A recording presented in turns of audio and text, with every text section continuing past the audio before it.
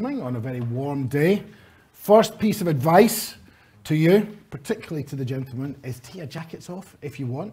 Don't feel you need to keep your jackets on. Andy's got his jacket in his bag, but he, he's already lobbied me and I said no, no jackets. Unless you're on the top table, of course, when you have to be there because you'll be in all the photos. And, and talking to the top table, thank you. We, we, have, uh, we have a very brainy panel for you to ask difficult questions. We've got a brainy audience as well. That's a problem for you. We've got a brainy audience and a brainy panel. So we should have a brainy conversation. And that's what we, we certainly hope. Because today's a very important day for us.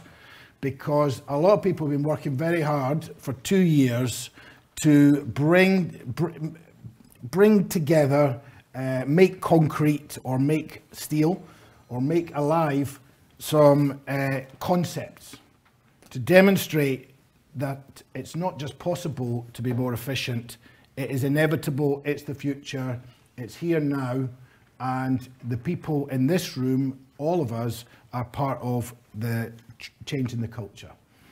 We are looking forward to being joined by Trudy Harrison, who's got a new set of responsibilities and a promotion. So we're looking forward to uh, speaking with her. And we congratulate Andrew Stephenson, who's been a good supporter all the way through to becoming promoted to Minister without portfolio, which sounds quite good, but I think it's you get all the horrible jobs to, to solve, really. So anyway, he'll do well at that because he's very calm. Uh, we're going to have some inputs throughout the day. We're going to have the round table. I'm going to say a few introductory words. The minister will speak, and then the minister will will sort of lead us round the through the round table. But we will have chance to ask questions as well as uh, as the chair of the the delivery board and leading the PMO, uh, you know, you can be absolutely up to you know too close to this. And I was having a conversation yesterday with some colleagues who were in a room trying to uh, influence some some people in the treasury and convince some people in the treasury that uh, it was possible in transport to be more productive. And uh, I was I was part of the conversation, but not, not leading it. And as the conversation went through, it was, oh, yeah, we've got that. Oh, we've got that. And it suddenly, what, what looked, what could look from the outside like a big collection of things, when, when you broke down the challenge, well, if you wanted to, to improve productivity, you'd have to do X, Y, and Z. Oh, yeah. We've got a demonstrator here that has shown that and shown the benefit of that and brought the, the time of that down, the carbon down, the cost down. And, and it really was a moment for me actually because uh, it, it really showed that the, that the, the problems that the ALBs brought to the table, the vision of those at the outset, DFT, the TIES uh, task force, you know, there was, there was a lot of breadth to it. And I think I've had to explain more than once the, the, how it all fits together. Well, it, it came together in that conversation for me, and I think for the other people in the room. So I hope it comes together for you today. I think it will. So first of all, there's lots involved, mostly here today, and uh, it's been quite a journey. And of course, we did have COVID, which was always it was in the risk log. we did. I looked at it. We had a, we had pandemic in the risk log. The mitigation was, in fact, the likelihood was low, and the mitigation was home working. so we did that. And but first, thank you to everybody for making that work. At times, I thought we'll never make this work, but everybody made it work, and you know it. it it, it, it was, uh, I'm going to change the risk log now to next time to highly likely but low impact because we know how to do it now. So that was, that was incredible. And thank you to uh, IUK and DFT for giving us an extra three months bit miserable really. I'd have thought six months would have been more reasonable, but you gave us three months and we were, we were grateful for that. So today is the day where we start to look forward. We, we, we do reflect on what we've got, but it's really about the legacy and the culture change that we so badly need. And as we've gone through the last two years, if you think about where we started, we thought we needed this two years ago. Boy, do we need it now. And uh, it, it, it's fascinating to, to, to look at the current political process and think, yeah, where are you going to get the money from for all of that? Well, they'll come to us and we'll be ready now because we will be able to give a scientific, evidence-based view on what efficiency and productivity could look like. So we wanted to understand these things up there, especially around uh, modernisation. Whole life value is an obsession and not as well understood as it could be. And benchmarking is the way. And I'm sure, I don't want to steal David's thunder, but I'm quoting him a lot just now. Benchmarking is something that gives us confidence in we don't need to test the market every two minutes in tiny dribs and drabs because the benchmarks allow us to do that. I'm sure you'll say more on that later, David. I certainly hope so. And one of the, the, the game changing things has been the dialogue between the arm's length bodies. And I include TFL as an arm's length body in that. I'm watching the arm's length bodies work ever more closely together to the point now where I think it's standard, it's normal, and it's comfortable for people. Sharing data, sharing problems. And we've had, we had a marketplace last, last week where, where the demonstrators were sharing their views. And it was really, it, it, it was a real team effort. So that's good. And thank you to, you know, DFT have been particularly strong on, on uh, encouraging that. So we, we, how do you measure the benefits? Normally, you would just be measuring money, wouldn't you, in these kinds of conversations? But of course, the, the social value agenda and the carbon agenda, we we wrote parts of this four years ago and think how the priorities have broadened. And, and well done to the partners for responding. And actually, this wasn't what we set out to do, but the carbon benefits. I was a bit worried about carbon, actually. Not, I'm worried about carbon, as we all are, but I was a bit worried it might distract us a bit from our core task. And one of the findings that you will see is that actually the, the close association between cost reduction and carbon reduction and my friend Dan James on the panel always says that, and I, I always thought he was just saying that because it sounded good. But actually, Dan, it was true, and, and our, our, we see that in a number of our, our demonstrators. But we also see safety improvements. People on the track or in a risky environment for a short amount of time is really important, and we've been able to show that. Uh, cooling panels, uh, we, we need them and uh, we need them today and we really need them next week. And it was it's good that Paul Paul James has organized the uh, the the meeting next week for the cooling panels on the hottest day of the year. So well done Paul for that. That's that's good good forward planning. And logistics fuel fuel costs.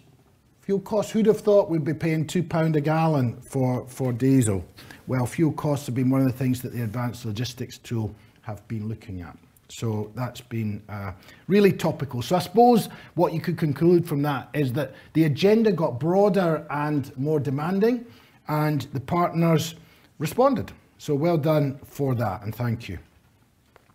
There's been a debate, a lively debate with government around how you measure some of this stuff. It's not all finished yet, but we've had Professor Malcolm Horner's here. We've been having interesting debates around how you measure productivity, what the carbon measures are. So I like to think we've made an intellectual contribution to government thinking as well as, if you like, a more practical contribution. You might not see all of that, but it, it's there. And uh, the, the whole policy world has moved on. And of course, the TIP roadmap and the construction uh, playbook, these are, these are now a thing. And they weren't a thing when we started. And happily, and it's not a coincidence, we are uh, in tune with those. And actually, that will be one of the ways that DFT takes these really important policies forward. Communities of practice. These are our way of mainstreaming and uh, getting longevity into the dialogue between the arm's length bodies. So they will take forward some of our thinking, sharing, whether it's harmonization of standards, that kind of thing real solid work done there and we'll hear from uh, Andy later on, on on some of those things. But social value, how you measure social value, that's been a, that's been a debate and been a core and very impressive uh, feature of government, uh, government thinking. And we've, we've, we've developed a tool, we're working in partnership, Liz from Network Rails here, who, who, who's been leading that within Network Rail, but we've got a tool that's broader transport wide and working together. So that's really showing the benefits. Because what we want to prove, and we are proving, is that it's a good bet. Transport infrastructure is a good bet for the government. We create good jobs, good social value, And we'd rather have a new road or a new railway or a new bridge than a submarine. Thank you very much. Don't quote me on that, but that's but that's what we're that's the that's the world we're in. Just one level down now. It's it's it's time to boast. I'm boasting on behalf of the excellent uh, demonstrator projects and partner partnership activities. But we're seeing some quite big numbers. So the, and these are all being these are all being further tested, but there's been a, an element of scrutiny, and we have a, a panel of uh, extra brainy people who really ask the difficult questions about these. So we, you will have numbers in the final report that you can have absolutely full confidence in. But you know, we are pretty certain on, on these as of now. So there's some big numbers in there.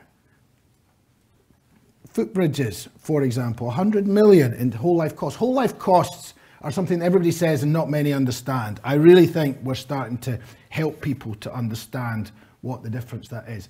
And in our benchmarking study before ties, which we did with DFT and IPA, every major productivity improvement in, in infrastructure had a whole life value dimension to it.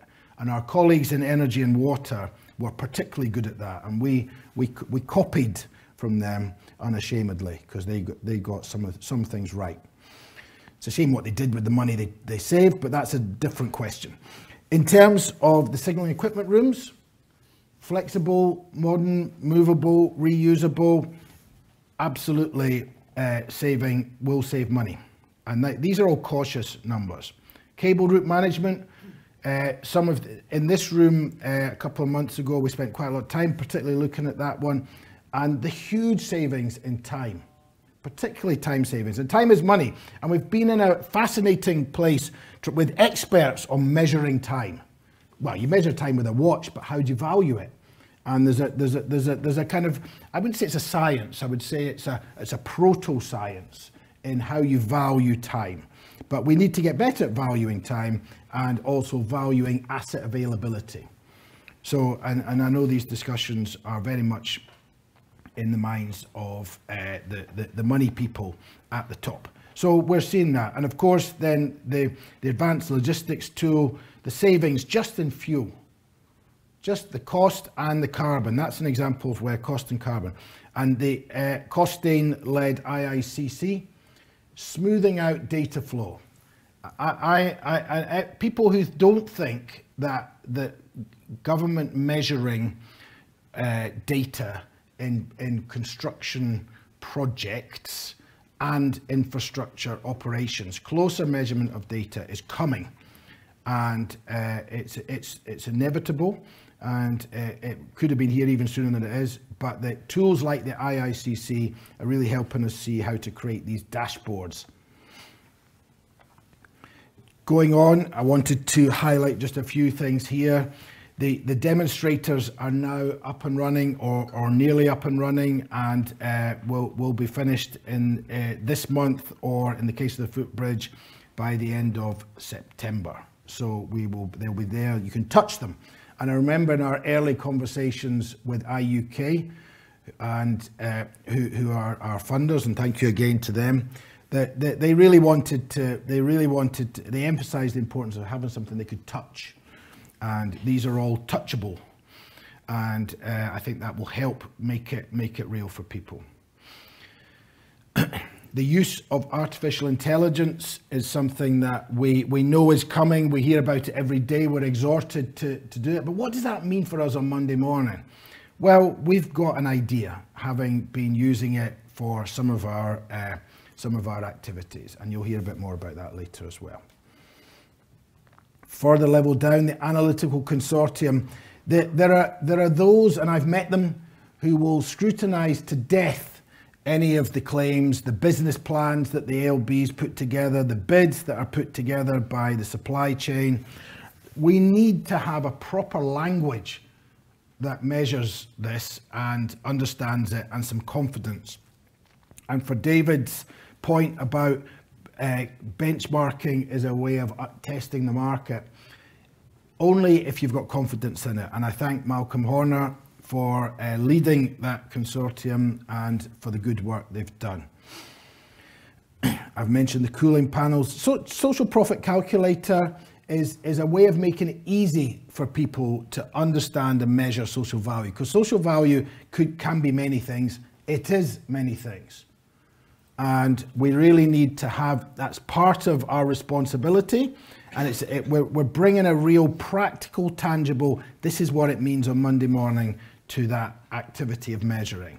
And as a result, more people will measure it, more people will understand it, and it will become part of our core language. Not in terms of, no one here thinks we're not delivering social value with transport infrastructure, but how much?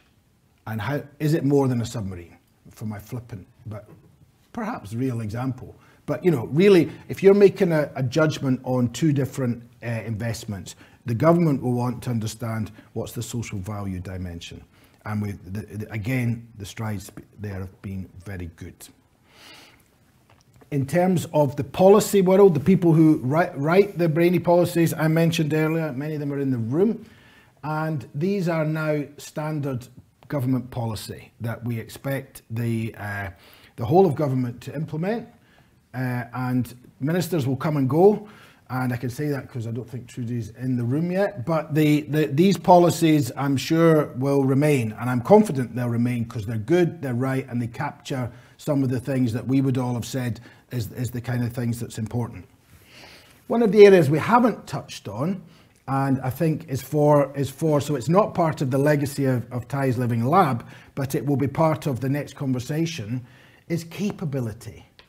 Because the people in this room and our friends who aren't here and some online uh, have shown that they can deliver things, but it's not been easy. And there's a capability in managers, a commercial understanding, a digital understanding, technical understanding that is asking new questions of managers. And uh, we've shown it can be done, but equally, I think we can all see that this is, this is an activity that when it becomes normal, we will need to pre prepare our managers for. And uh, my colleague Guy Wilmser Smith, who's a big advocate of, of this from, from Network Rail Training, is here, and he'll be somebody who will be very much helping us understand the new the new requirements for that in, in, in his business and I hope the other businesses as well. And the supply chain will tell us that they're really, really good at this and I've, I'll just be waiting for the opportunity to, to do it and that's probably even partly true. But I think there'll be, uh, I think there's an opportunity for all the senior managers to learn. I think one of the last things I want to say at this stage is it's been, we've been audited by the, the government audit people. That wasn't fun. uh, they're thorough, and we survived that. We've had huge scrutiny from uh, very professional scrutiny, overly thorough in my view, but anyway, it's been good from both IUK and DFT. So we've had two funders, and we've had a lot of uh, benefits in kind from the, the from the, the ALB partners. And the, the leadership within the ALBs has changed in a number of cases, but the commitment has remained. And I've just been very grateful to all the parties in this room for their time, their, when they, for taking my calls, it's him again, and for supporting us whenever we've asked. And it, it has been that. Whenever we've asked, we've, we've received and uh, that, that's been a pleasant, a, a, a pleasant finding, but a really important success factor. So I'm going to pause there. Uh, we, we thought Trudy might be a few minutes late, and she is, but that's fine, because uh, we're one of our first gigs, if not our first gig, so we'll let her off. So this is a chance for any comments or questions on anything we've said so far from the audience or from online. Any comments or questions?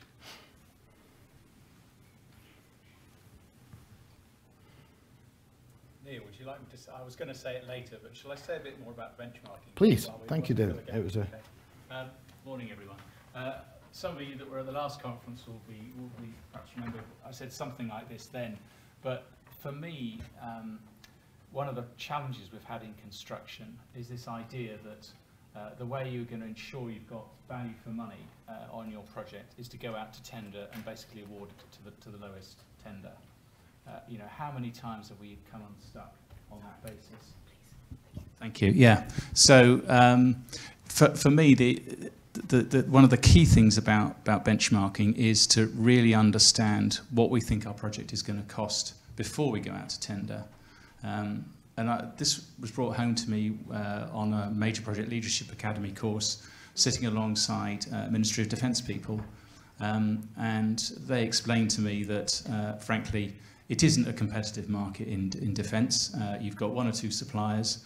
Therefore, the MOD put a huge amount of effort into benchmarking and understanding the cost of projects before they start. Now, you could say, well, uh, defence projects aren't exactly renowned for coming in on budget or on time. Um, I, I think I'd like to, to defend them and say that you know often that's because of change of scope rather than not understanding what the original scope was going to cost. But I think we have got to get to that space in construction. We need to have a better understanding of what things are going to cost before we start. And on that basis, have confidence that we don't necessarily have to rely so much on a design and build approach, for example, to, to get the best price. Because if you look at these complex projects we're now delivering, uh, so much of it is actually determined by the client. It, they have no choice. You know, in the case of HS2, you're having to award the civils contracts years ahead of the systems contracts because of the timescales and uh, uh, etc. But you know, you've, you've got to have decided what sort of systems you want uh, before then, and, and therefore, you know, the, the clients need to actually accept they've got much more responsibility for the design. And on that basis, the more we can benchmark and, and understand what things ought to cost and should cost, and if we you know, change some things, what, how much we can reduce the cost, the better. Hope that helps. David, thank you very much. And the uh, impact of that, I'm going to ask Darren James for a comment on this in a minute, but the impact of that, one of the things we found in our, what works is often the supply chain, the return on investment for lots of these things. We've talked about the benefits, but the time to get those benefits is typically more than 15 months.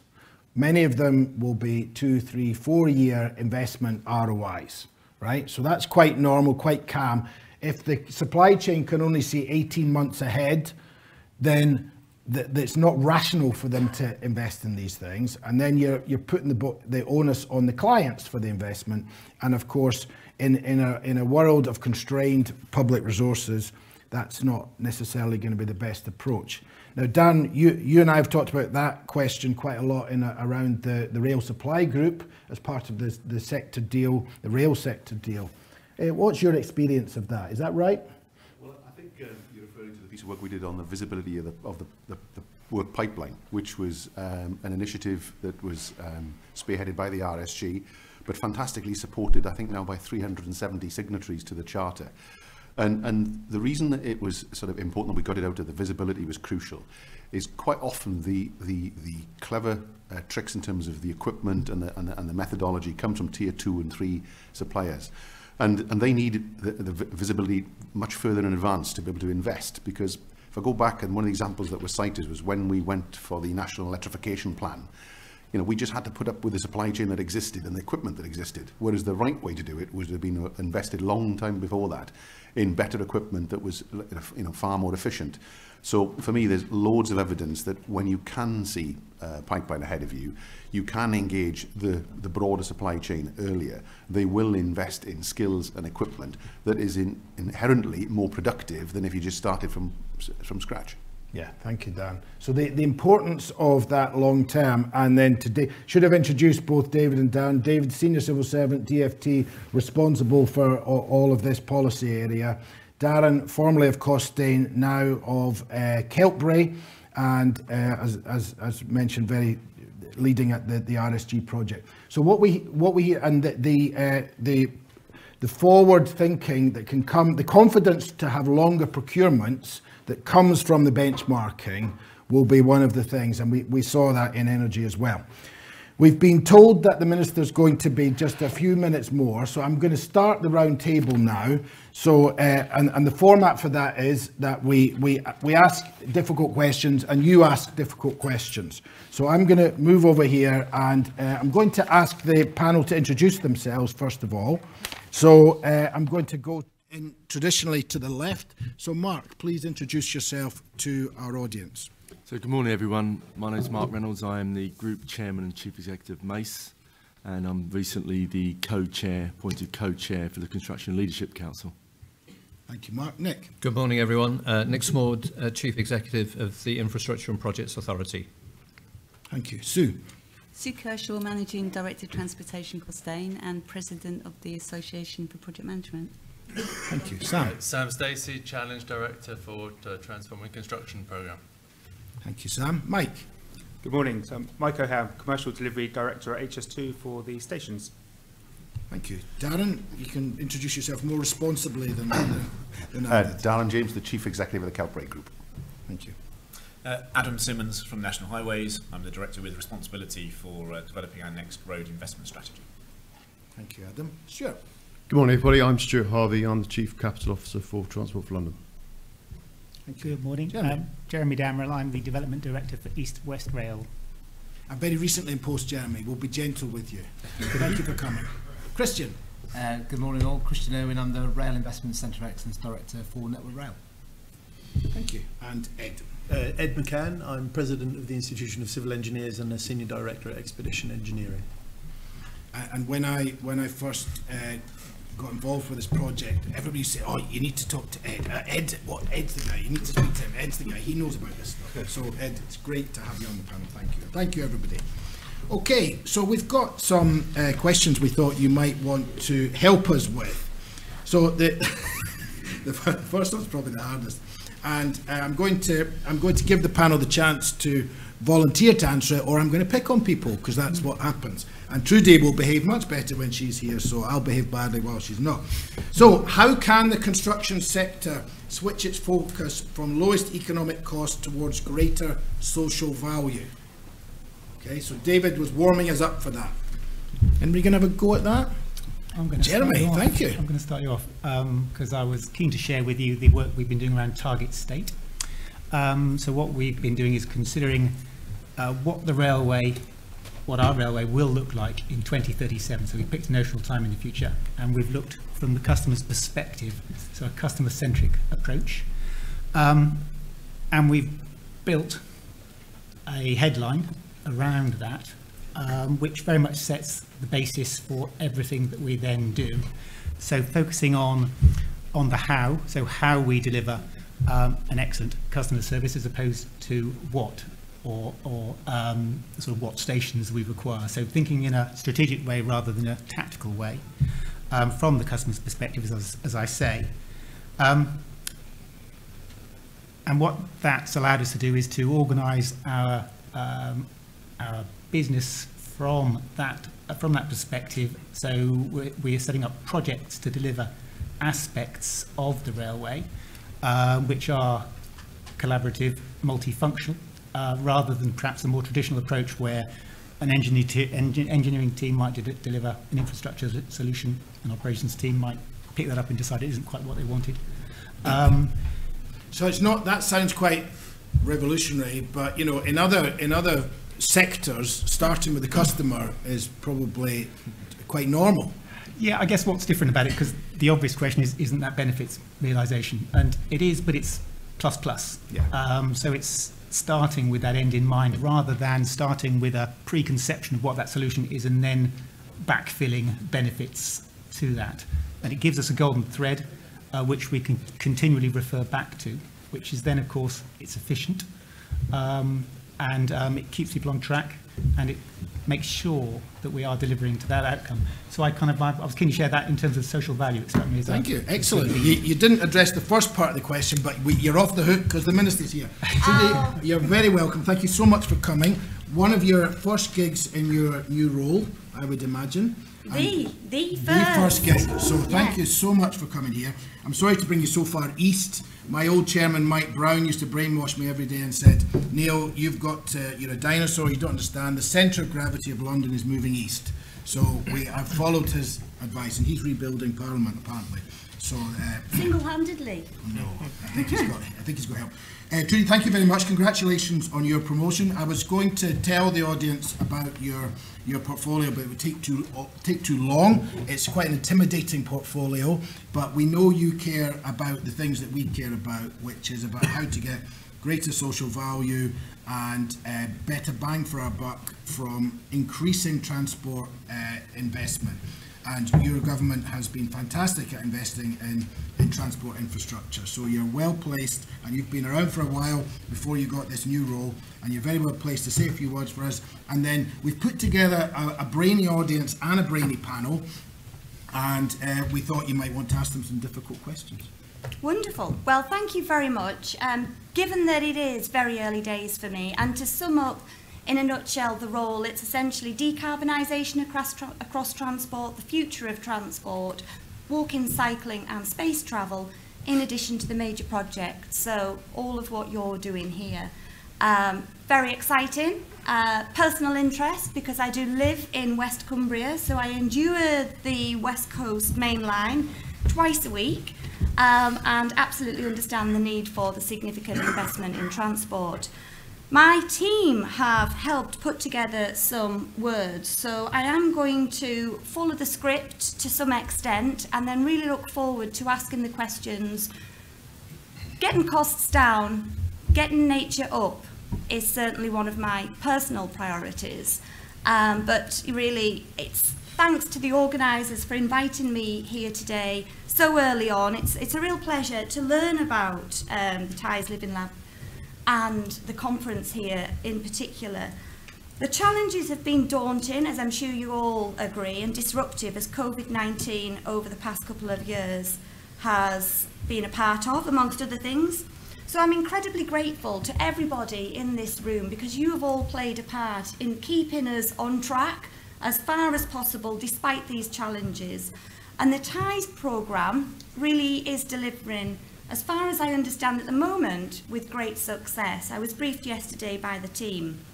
When my great colleague and friend Andrew Stephenson launched TIES Living Lab in 2020, he outlined the three core objects, essentially accelerating the innovation, improving the approach to data measures and metrics, and also improving the business process, making sure that the investment cases have consistent metrics for driving the innovation and also the wider societal benefits.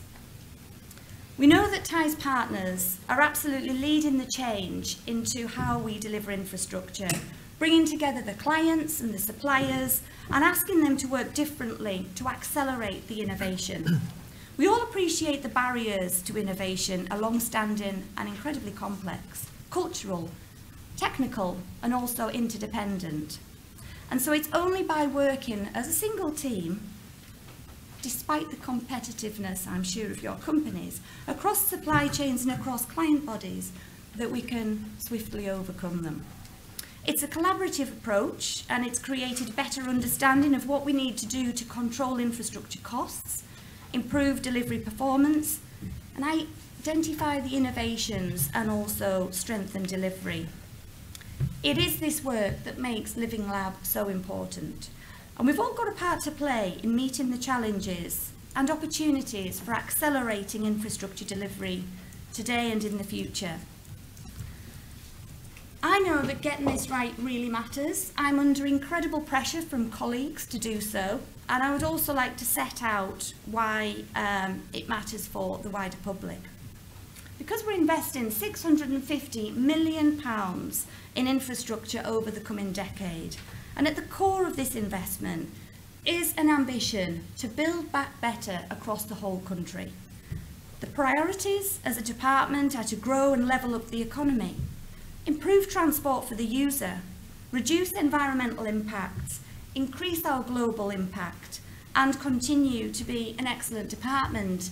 And you may have been following who I am supporting. I was a big supporter of Grant uh, Shapps, with his withdrawal, I'm paying close attention now to all contenders, and they would all support what I'm saying here. It's common sense. It's absolutely what every leader of this great country would want to do. So I don't think we need to pay too much attention to this distractions of a leadership contest because our priorities as a department are going to grow and levelling up the economy, improving that transport will always be the priority. Indeed, improving connectivity right across the United Kingdom and delivering projects that are on time, on budget and putting the needs and expectations of passengers at the very heart of transport. So it does mean building greener and cleaner, more sustainable alternatives because we know right now that the sector is our biggest contributor to greenhouse gases and we're also on a, way, uh, a world stage. I had the privilege of standing on the 10th of November at COP26 across many platforms. The world is watching what we're doing and we have to be credible. We have to demonstrate how decarbonising the transport sector, getting these projects right, is possible whilst also growing the economy.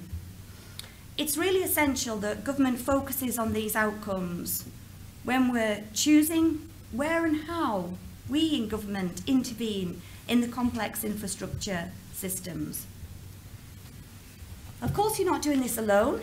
It's enabling other key government policies such as Transport Infrastructure Performance Roadmap and the Construction Playbook. And alongside the work of TIES, these policies challenge government to rewire its decision making and its processes in order to embed greater respect for nature, better data sharing, greater safety and security for our society and a more effective long-term partnership with the private and voluntary sectors. Many of these reforms will be implemented by other government departments in the industry. And so it's a shared endeavour that Living Lab is helping the whole of government deliver. Later, we'll be hearing from Nick Smallwood, CEO of the Infrastructure Projects Authority, and the IPA play a vital role in coordinating government's response to how we transform our infrastructure performance. And Nick has kindly offered to say a few words this afternoon on the government's vision and progress to date.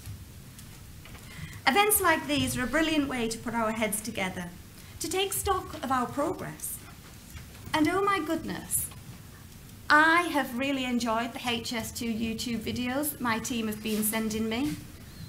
I really think we have a way to go to persuade the public, including my own four daughters who are aged 19, 20, 22 and 24 and husband, about the great value of our investments in construction and infrastructure because it is so exciting. And this has been the greatest privilege thus far in this role, to get under the bonnet to really see what we're doing across the country and how the innovation and engineering, the machines, that we are investing in are making this possible. So I do want to talk about progress. I want to take stock of that progress and where we're improving infrastructure delivery and to discuss what more we can do collaboratively to drive better social outcomes and greater efficiency savings because getting it right will mean better connectivity, more jobs, more investment and more economic opportunity right across the country. So we're going to start by talking about the Network Rail Footbridge programme, driving a cost reduction of 25% with delivery times reduced by 65%. The TfL Signal Room programme is driving a cost reduction of 60% with a delivery time reduction of 75%.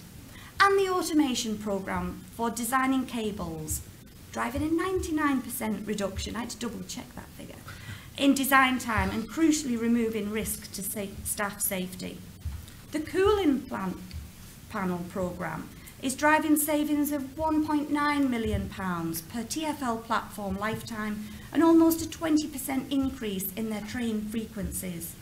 The Intelligent Infrastructure Control System programme has already demonstrated its work with data, driving a 30% reduction in on-site machine carbon emissions with potential for billions of cost savings if it's used more widely by the industry. So this, use, this list is not exhaustive, but it gives a sense of the efficiency savings that the Live Lab is driving.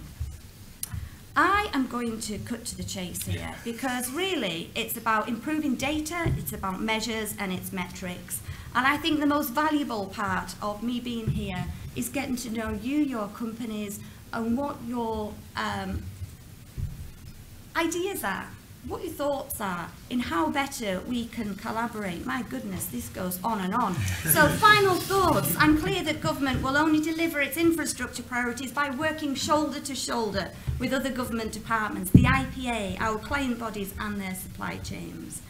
So, as I say, we're asking you to think about it, work with me, work with my department, enable that collaboration to do the right thing, to reduce the costs, to improve our reputation on the world stage of how we do infrastructure. And if we can increase wildlife, biodiversity and tree planting whilst we do it, then I will be an incredibly happy Major Projects Minister. Thank you very much indeed.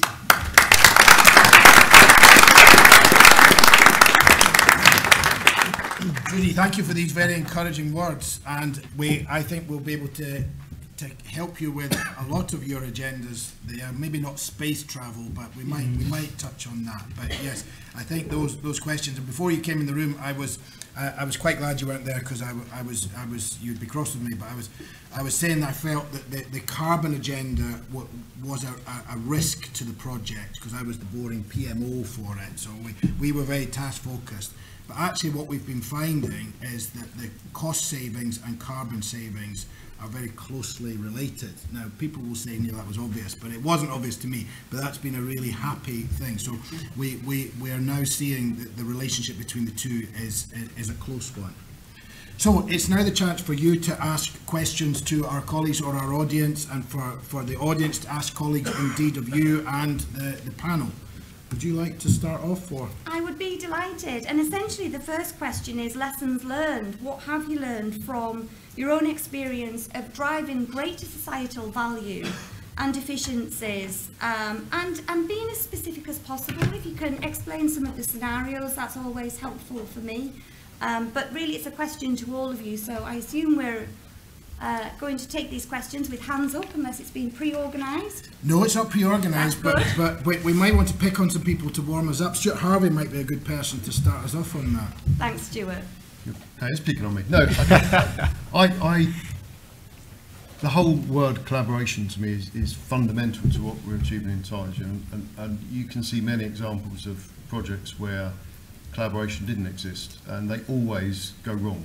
Yeah, nearly always. And, and equally, you can see projects where there's great collaboration. I guess the Northern Line Extension, which I'm incredibly proud of, had a, a developer um, and a contractor and, and TFL in the middle. And actually to, to get through that, which was an extremely constrained work site, um, and to overcome the issues just demonstrates that you're working together with common objectives, trying to all get the, the lowest cost, quickest outcome is a real good focus. So, so you know, it, of course it's an obvious statement, but I do start there because we have to think about that. So, yeah, I, so I start there as a, as a Can I, can I just not put up with that? Can. I just ask, how has collaboration, how did it come about? You've got commercial interests as individual companies, you could be competitors. So how do you overcome that, recognising the greater good?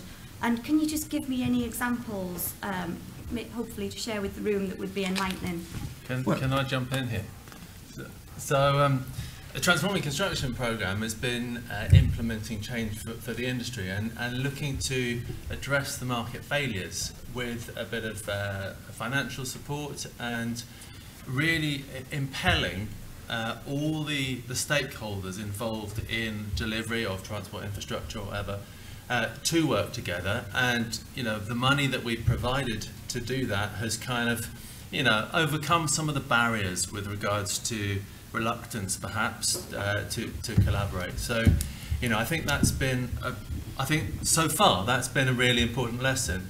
It was part of the rules that we laid down. He said, you have to collaborate. Now, the effects of that have been absolutely terrific. You've, you know, you've seen all these statistics of the improvements.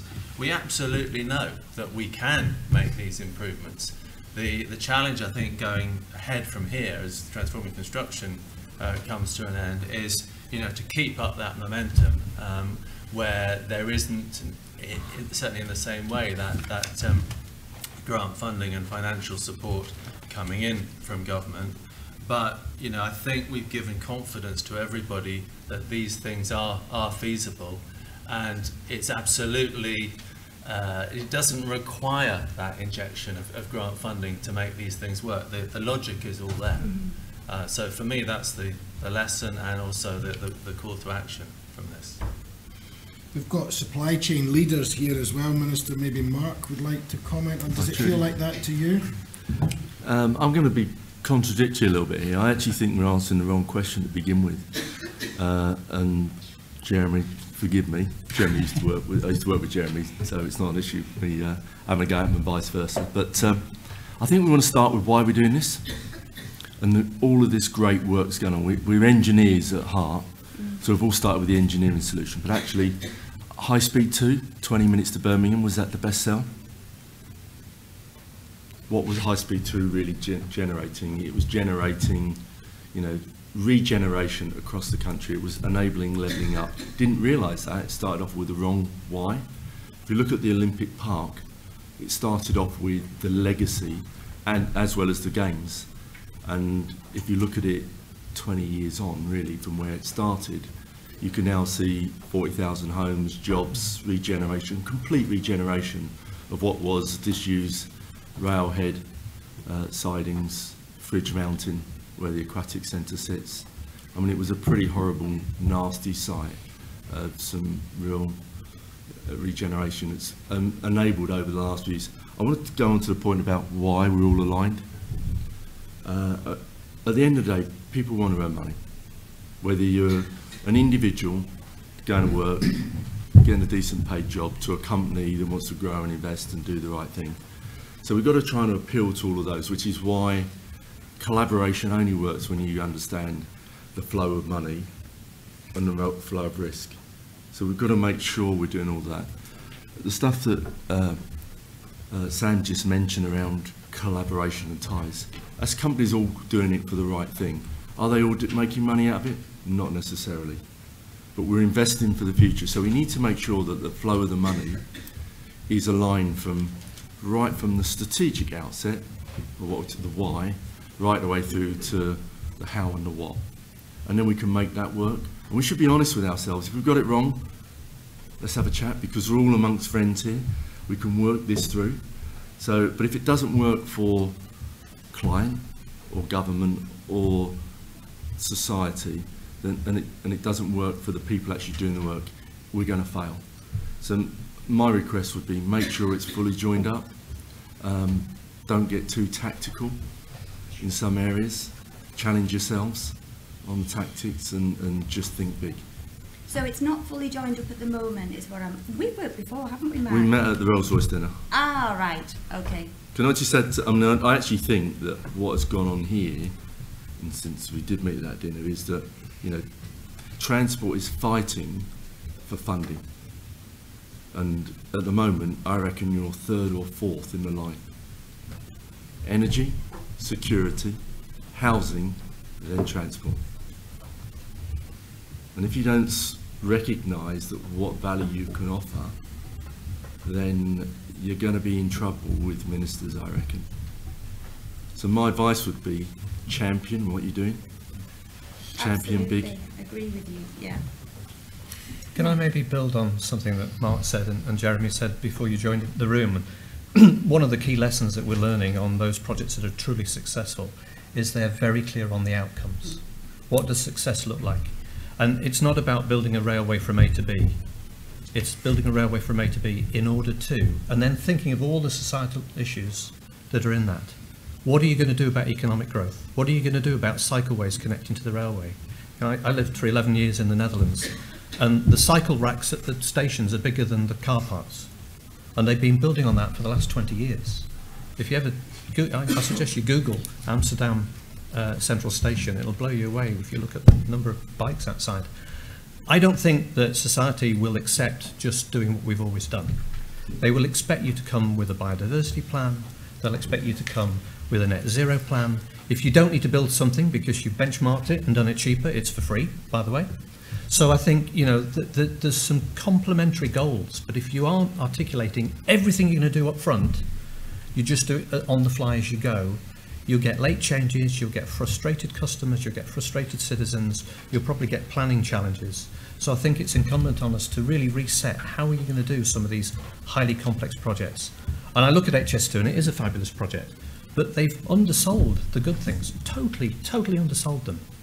And, and that message is missing in the public eye. So we've got more to do in setting up what are the outcomes in the broadest possible sense from the get-go. It's harder at the beginning.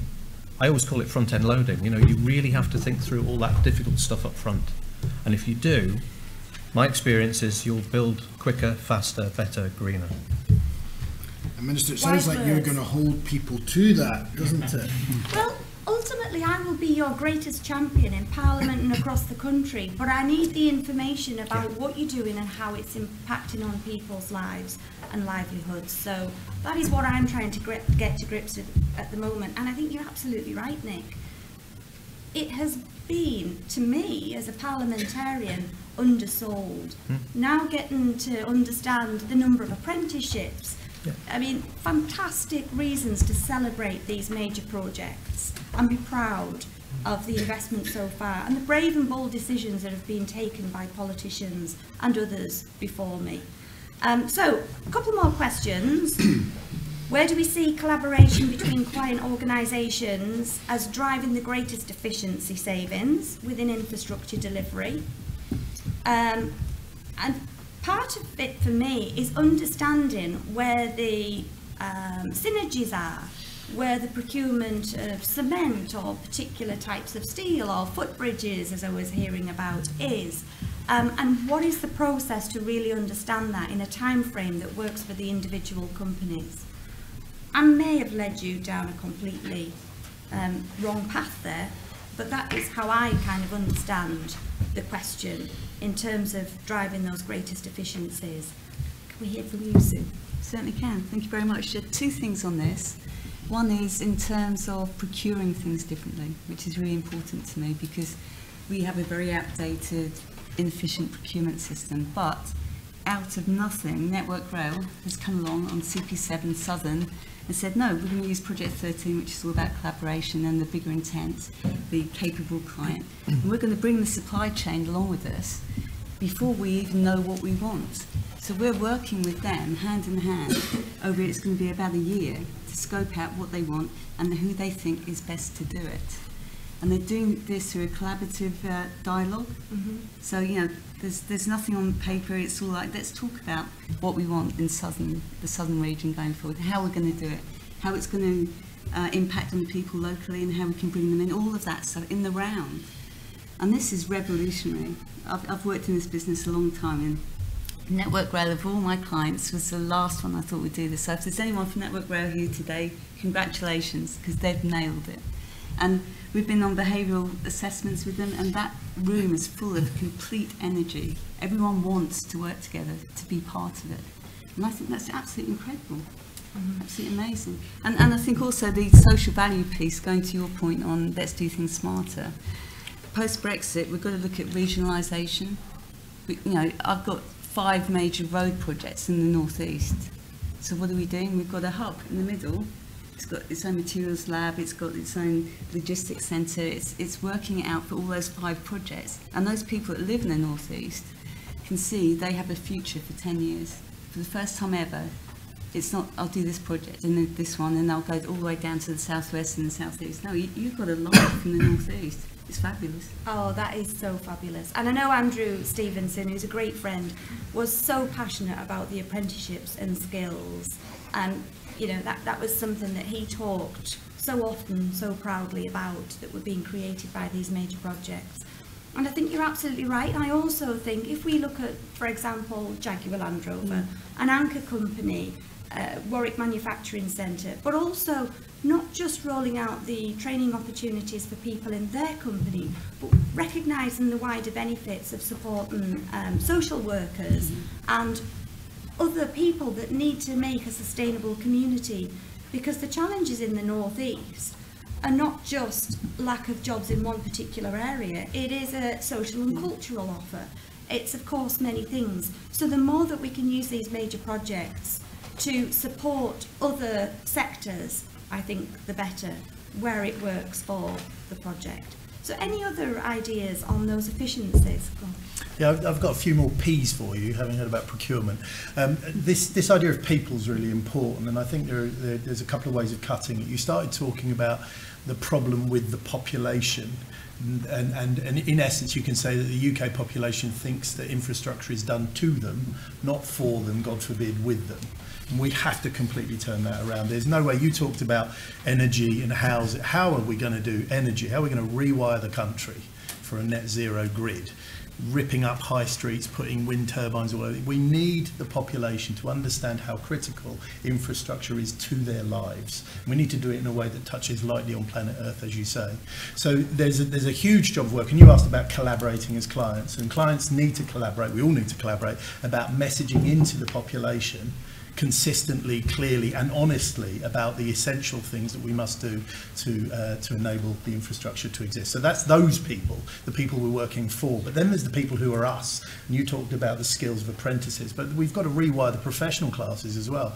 I represent the Institution of Civil Engineers. We've got nearly 100,000 members, the vast majority of whom work in this world of, of providing the infrastructure, and they need a reboot. Frankly, they need a reboot about the emerging agenda. They need to be focused on continuous improvement, using technique and technology to improve efficiency and so on. So there's two dimensions to people there I would mention.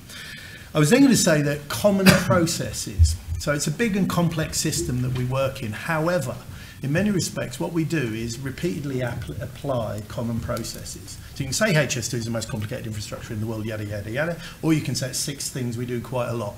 We do a lot of earthworks, we do a lot of tunnels, we do a lot of bridges, we do a lot of stations, we buy a few trains. And if you put that optic on it, you think about the problem rather differently. How do I do earthworks better? What is it that I would do to transform the efficiency with which we construct and uh, form earthworks? And so I think collaborating, as we're starting to see, so highways, uh, national highways, network rail, starting to talk to each other, go, okay, we all buy a lot of concrete. What can we do with the common process of not just buying it, but turning it into low carbon concrete and designing and delivering and so on. So I would say collaborate on high impact common processes and HS2 has done some great work identifying what these common processes are. And the final one is a product optic. So you've noticed the four P's I've given you. Procure. Anyway, so the fourth one is products, and a lot of what the, the Ties Living Lab has done, certainly the Footbridge project, which I know intimately because we were working on it, um, the, uh, the, it's about putting a product focus on things. So, for instance, manholes. If you look at manholes, um, I, I don't know if anyone has seen any evolution in the manhole product in their working lives. I certainly haven't.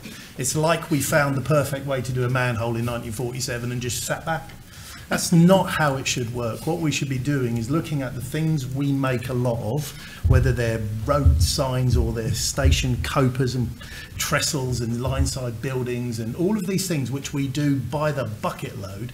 We need to isolate them as products and put them through product evolution methodology which manufacturing has done so well. If we do it that way around, so if you focus on them, those P's, in my view what you are then doing is applying the well-established continuous improvement methodologies that we have seen in manufacturing around the application of technology, the use of data, the deployment of digital, process control, skill development into those processes, products and people's stories to generate the productivity improvements that we so desperately need. And I, I would say, so my final thing is I, I can see it working. I'm seeing it working. I'm involved in several of these things.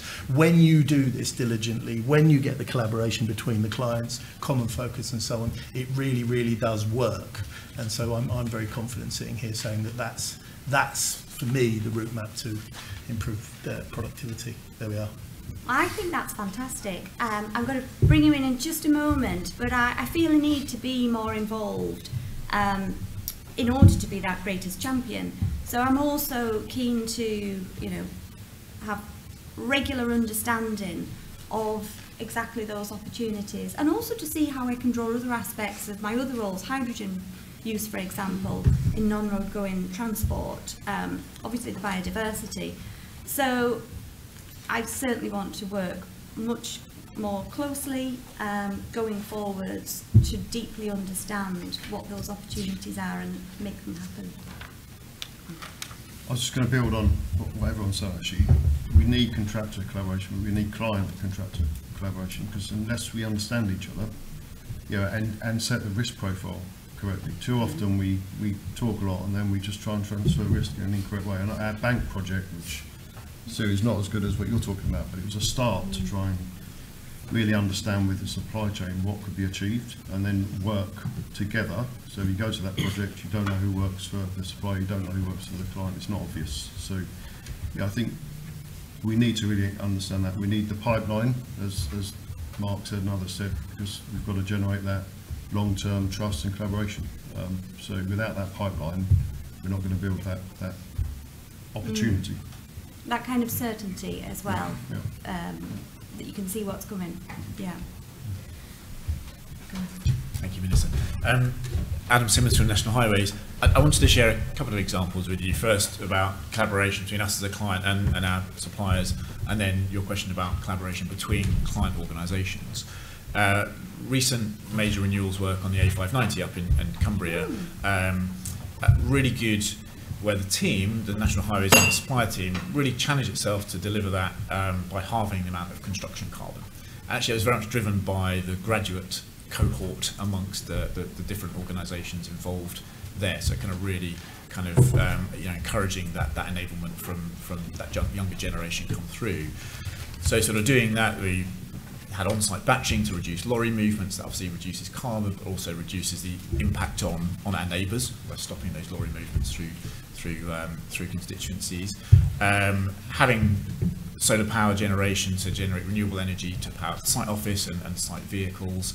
Uh, recycling materials back into the next part of the, of the project. So again, reducing lorry movements, reducing needing to quarry out fresh sort of materials.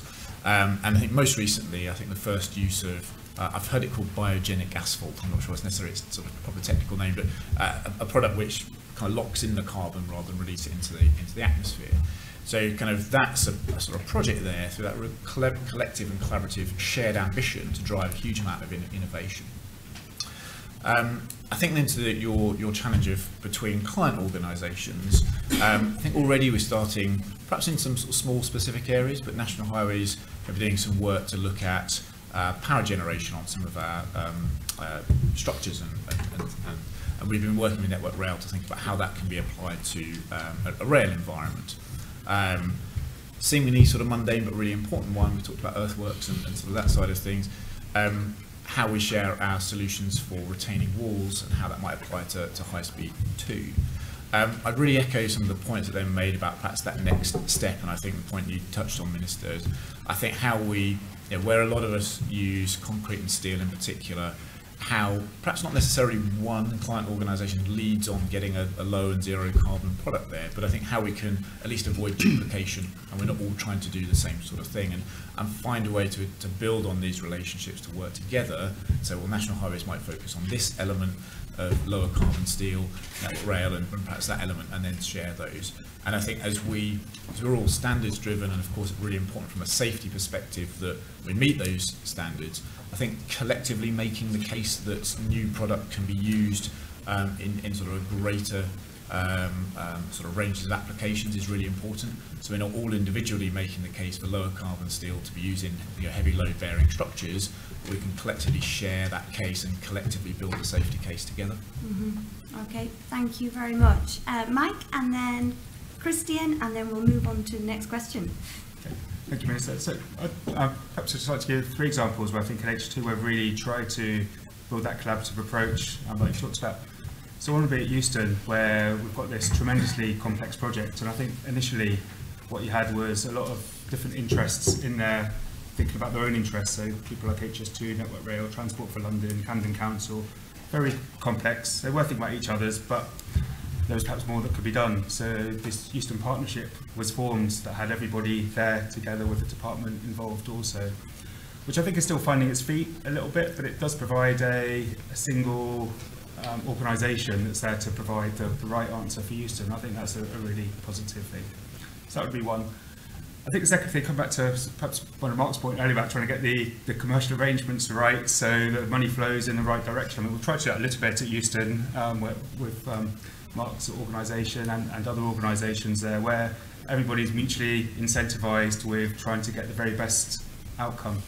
It's not always easy to do, um, but we, we certainly do try to do it and, and I think also try and have some of those collaborative cultures that means even when people aren't commercially absolutely aligned, you, you talk about it and you deal with it professionally to come up with the right solution for everybody. And I think the third thing I'll say is, is where we have realised at HS2 that um, there are benefits of working with the other arms length bodies to, to do certain things. So, for example, when it comes to buying rail for HS2, Network Rail are pretty good at buying rail, and there doesn't seem to be that much point of us going to buy rail separately to Network Rail. So we just work with Network Rail to be part of their procurements of buying rail. And equally, we'll say Old Oak Common in West London, where there's work on the conventional station as well as the HS2 station there. We work with Network Rail and, and work with their procurements and their supply chain to deliver the bits that they're best at doing. Uh, so I think a lot of that is happening.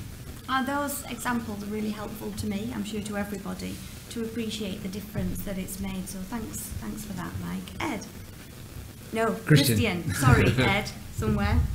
No, that's fine. Um, so, um, good morning. We- Um, I think it's the second time I've had a chance to meet you because I actually met you in April in Truro County Hall with Cornwall Council, where I had the opportunity to take you through a Mid Cornwall Metro concept about cross Cornwall connectivity. You did indeed. Yeah, and, um, so I just wanted to just uh, build on, on some of the points that the panel have, have said about, and I want to come back to your first question about lessons learned around delivering greater social value. So I think we've just talked about about how the TIES program Living Lab has really helped us kind of generate innovation. We've talked through the project innovation, but it's done more than that. It's bonded a whole host of organisations in a collaborative way. It's developed an area and an element of trust, and that trust has brought honesty, and that honesty has enabled problems to be shared and also problems to be solved. But one of the other things it's really helped stimulate is a mindset change, a cultural change across the construction industry. And this links very closely to what we're doing in Network Rail, which is the reference to Project Speed, a joint Network Rail and DFT ambition to deliver projects more efficiently and more um, and quicker. But the mindset piece comes back very quickly to me is about why. Why are we investing in rail? And too often we are focused very much on how many bridges we put in, how many kilometres of track, how much ballast are we going to do. We very much focus on what is the physical infrastructure. But if we ask the question about why, and you link it back to the construction playbook, which is what is the outcome we are trying to achieve? Why are we investing in this project? And if you can really define why are we investing in this project, what is it we are hoping to achieve? What is the outcome we intend to deliver? And I'll just play back on, a, on an example of a, a, a slightly smaller railway line we're reopening, but the Dartmoor line, which opened um, last year, um, a very, very quick and to project speed in less than nine months. The outcome-led specification there was, how do we connect, reconnect a lost community and provide economic growth? That was the challenge. And that really started to make us think differently. It's actually, let's not think necessarily about these as infrastructure projects. Let's think about these as community development projects. And that collaboration between partners is brilliant. Collaboration between the supply chain is absolutely essential. But collaboration with the communities that we are investing in is so fundamental to adding social value.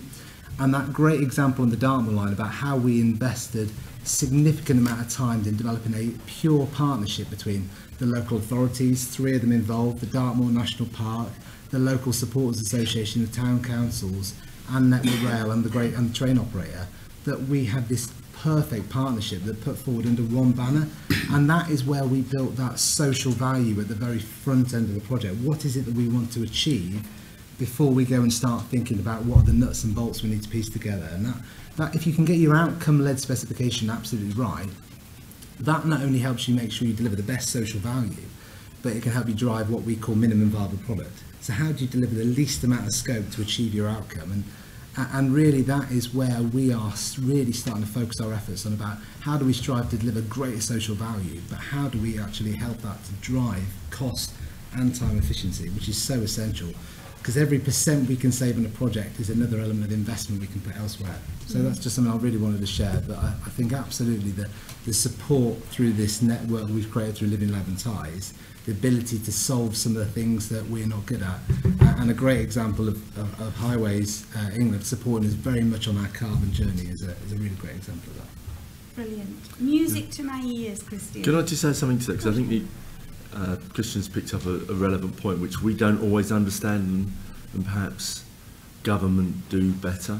So when we talk about economic development, you know, economic growth, what does that really mean? And is it, you know, a figure got thrown at me a few years ago that you're not an economic contributor unless you earn more than £30,000 a year. Now, how many people in Dartmoor earn more than £30,000 a year? Probably not many. So, you know, how do we, is that the right measure? Are we measuring the right things? And I just think sometimes that we go off do this, we talk with nice glib language to say, yeah, we're all giving economic growth, and actually all we're doing is actually creating an economic deficit. So I do think that there needs to be some realism. This is why I go back right at the start. What are we trying to achieve here? And it might be a less of economic deficit. As long as we know that, then we can actually put the you know the right mechanism in place. And I go back to some work we do. You know, we all do charity work. So, you know, I was involved with a, uh, a housing uh, homeless charity, and it was how do we create as many bed spaces for a little sum of money as possible to keep people off the street safe and secure. And you know, our challenge wasn't spend thirty thousand pound per bed; it was how do we spend ten thousand pound a bed. And, and they were really simple metrics. And suddenly, we were able, when we got down, down to the metrics at that level, we were able to drive some real benefit, and it, and it just multiplied and multiplied. So we went from, you know, what we thought was 500 to 3,000 for the same reason you just said. So I do think there is a there's an element of big picture work that the government has to their in their armoury that we perhaps don't understand. Well, it leads nicely on to the question of scaling because the roadmap, the construction playbook you've all referenced, um, clearly they have had an impact. But what do we need to do collectively to scale up on the benefits of what's already happened? And I'm looking for jobs here, direction, so don't be shy. Um, well, I really good answers for the first two questions, but I missed my opportunity there. But um, one thing I was going to help you, specifically on question two, Minister, you asked, you know, what are the clients doing? Well, there is an infrastructure client group, which I would strongly recommend that you, you let's say, get yourself in attendance at the next session, which will, because the stuff that Sue talked about, the Project 13, the stuff we talked, came out to there in some shape or form. Um, I probably yourself with the level of enthusiasm I've seen already in, in yourself, that, that would be a really positive spark again to a group that's got, um, you know, like a Sellafield are in there, National Highways, they, they, they, they, they procure large construction projects, Mhm. not just transport projects, and there's some good stuff. So there was, sorry, that was something you specifically asked for. in the That's Q2. very helpful, thank you. In, in terms of scaling up, look, again, we've got tons of best practice. Uh, one of the things I'm working on at the moment is a productivity initiative with the Institution of Civil Engineers and the Rail Supply Group. Uh, one thing we did do is, is do some horizon scanning about what was going on already, and there's absolutely tons of stuff. We're all incredibly guilty of reinventing the wheel. So I say, I say one thing I would suggest is stamp out reinventing the wheel. There's tons of best practice to be had. There's, there's a couple of organs that the clients represented today. They are all advocates of trying to do the right thing. Lessons learnt is a, is a huge thing. We've got plenty of opportunity to, to, to, to learn lessons. Unfortunately, we learn some lessons and forget some other ones we'd learned before. Um, so for me, scaling up would be absolutely drive hard this lessons learned piece from all of the sort of infrastructure stroke big capital programs. You can learn from the Olympics, you can learn from Crossrail, you can learn from smart motorways, you can learn, they've, they've all good stuff. The thing we need to do is learn all the good lessons and package them all together. Um, and again, I, I cite outside our sector, but, but Sellafield have, have picked on, and they've got 90% of it right in terms of what they're doing for their future program. Mm. Um, I the information available from, say, Sellafield or the Olympics in order for other companies to learn from? And also, standardisation versus how do we become a, become a science superpower and an innovation nation if we're not, you know, cons- consistently reinventing the wheel? So, again, um, I, I- give you sort of a short answer to your question two. Your question one, by the way, you hit the nail on the head with question one. I think Mark picked up the Olympics too. One of the things I would say about your question one is, you know, what do we do to stimulate? And particularly yourself, is be clear what the outcomes and the objectives are and hardware it through to some government policy because back to the, the classic of high speed 2 it was promoted as being the wrong type of solution when it's actually got some fantastic benefits I think Crosso were quite good at how they presented the benefits of, of, of, of, of the scheme so that going back to the, the, the objective but the data does exist And again, the infrastructure client group, you know, you've got access to all of the relevant data there. And I've seen, like, I'm sure my colleagues will share, I've seen plenty of evidence where people are happy to share, you know, from the supply chain, which, which, which, which I represent, you know, be proud in sharing and having someone pinch your good ideas because you know, an organisation like that moves on with a far more innovative, innovative answer. So, short answer, the data does exist. The clients have it and the supply chain is more than happy. There's plenty of forums. Myself and Mark were involved in particular, and I think Sue as well, when Crossrail 2, and I was maybe a little bit off, off now, but they were very early to go and set up a forum whereby, you know, how's it going halfway through Crossrail? And that was the right time to ask because you know, we were seeing plenty of lessons learned there too. So there's, there's a culture there, and therefore I think a great uh, opportunity for you to benefit greatly from learning very quickly about what we can do. Brilliant, thank you. Lots of enthusiasm for this question, which is brilliant. Mike and then Adam. Yes, just um, very quickly, and perhaps a bit specifically on the, sh the sharing of lessons. One thing that I think has been great, and I've personally benefited a lot from, are the learning legacies that have been set up by certain organisations. So the Olympics had a learning legacy, which has been fantastic. Crossrail's had a learning legacy, which has been fantastic, and there's so much information put in the public domain for future projects to learn from on all aspects, mm -hmm. from the benefits to the engineering to the commercial to, to everything. Um, so they're, they're tremendous things. I'd really encourage that we do more of that, actually. Um, and I've, from what I've also heard, it's been really helpful for British industry to go forward in the world. Certainly some things we've done at HS2. I know some of our suppliers have said that they've benefited from what they've learned as they've gone to do business in Australia, for example, on one Sydney Metro. So uh, I think there is stuff there, and I, I think we should do more of it, putting it out in the public domain. Yeah. Okay. Adam. Thank you. I, so thinking of your challenge of, of, of scalability and, and, where next, um, I think building on a few points. I think certainly that's um, the point Mark was making earlier. The certainty of, of investment is a really great way to sort of foster that that environment and National Highways only created um, 2015, but shifting from annual investment to five-year investment to kind of I think really, really sort of um, sort of help accelerate all of this in, in, in our side of the sector. Um, my reflection is then that transport has a real range of skills from uh, sort of labourer to then very sort of specialist um, skills, and I think the opportunity here is um, we talked about avoiding duplication either from sort of learning the lessons and not reinventing the wheel or um, sort of drawing, particularly across sort of clients and um, client organisations and the supply chain, to sort of find these solutions. I think creates a lot of those sort of jobs around. So I think it creates quite a stable um, sector um, to draw in, build innovation, but draw people into that skill set. What I would also say is a real opportunity to look beyond transport. I think a lot of the, um, the carbon challenges we've got was brought certainly from highway sort of transport into the energy um, sector. And actually those sorts of collaborations as well, we're already starting to, to do is National Highways, certainly with the Department for Transport, the energy sector, really thinking about how we're providing infrastructure, say, for electric vehicles and, mm -hmm. and that sort of direction of travel. So I think that that sort of building on the stability we've got in the sector, making the most of those collaborations to um, not tread on each other's toes, and that sort of creates a much broader sort of skill set for to encourage people into the sector, and then building on the the, the sort of new collaborations with other sectors, I think there's, some huge opportunities to really build on these collaborations now and scale it up. Yeah, and I've seen that Project Rapid, one great example of that, you know, minimum of six rapid charges in all of the 114 motorway service areas with National Highways as the partner and bringing in the private sector companies with particular specialisms as necessary. It's working really well from what I see is the, the minister responsible for that. Uh, so thanks, thanks for bringing that example. Um, Stuart. I'm going to be slightly less kind, just for effect. I think we were really good at identifying lessons. Brilliant. But mm -hmm. I'm not as convinced that in a consistent way we learn lessons. I think we've somehow got to incentivise you know, bodies to make bids based on demonstrating that they've learned lessons and truly implementing them, and you know and that should that should go in your favour. I think that would drive a huge incentive to, to you know, suck the information out and demonstrate it's been done. So, as as an organisation that puts jobs out there for companies to tender to, is there then an opportunity to require in that tender lessons learned from previous projects explain? Yeah, definitely. But I think I think clients need to learn lessons as well because you know I think it's sketchy, mm -hmm. it's improving. So somehow bringing that together, so how, you know, how can TfL learn everything Network Rail's on and vice versa and Highways Agency, it's sketchy.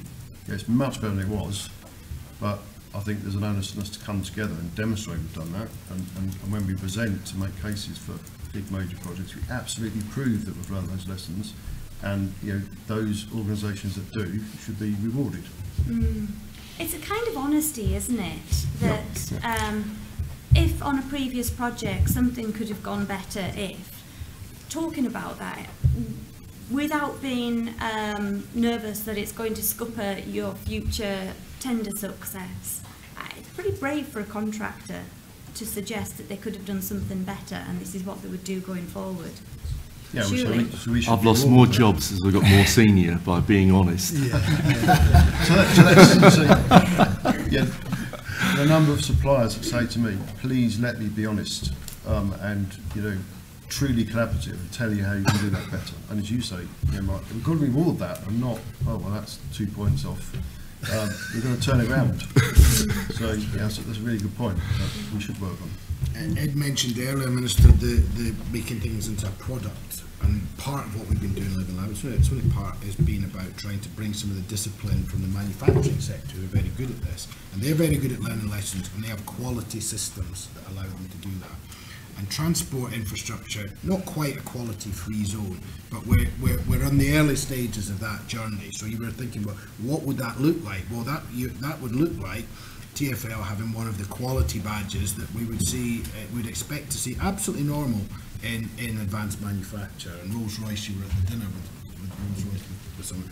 Uh, that was, you know, that's the sort of thing that they've been doing for years, and they, they, they see the benefits in terms of, you know, when they're starting a new thing, they don't start with a blank sheet of paper, it's 90% there. So they've learned all that, it's scientific learning of lessons. So there are places to look. Mm-hmm.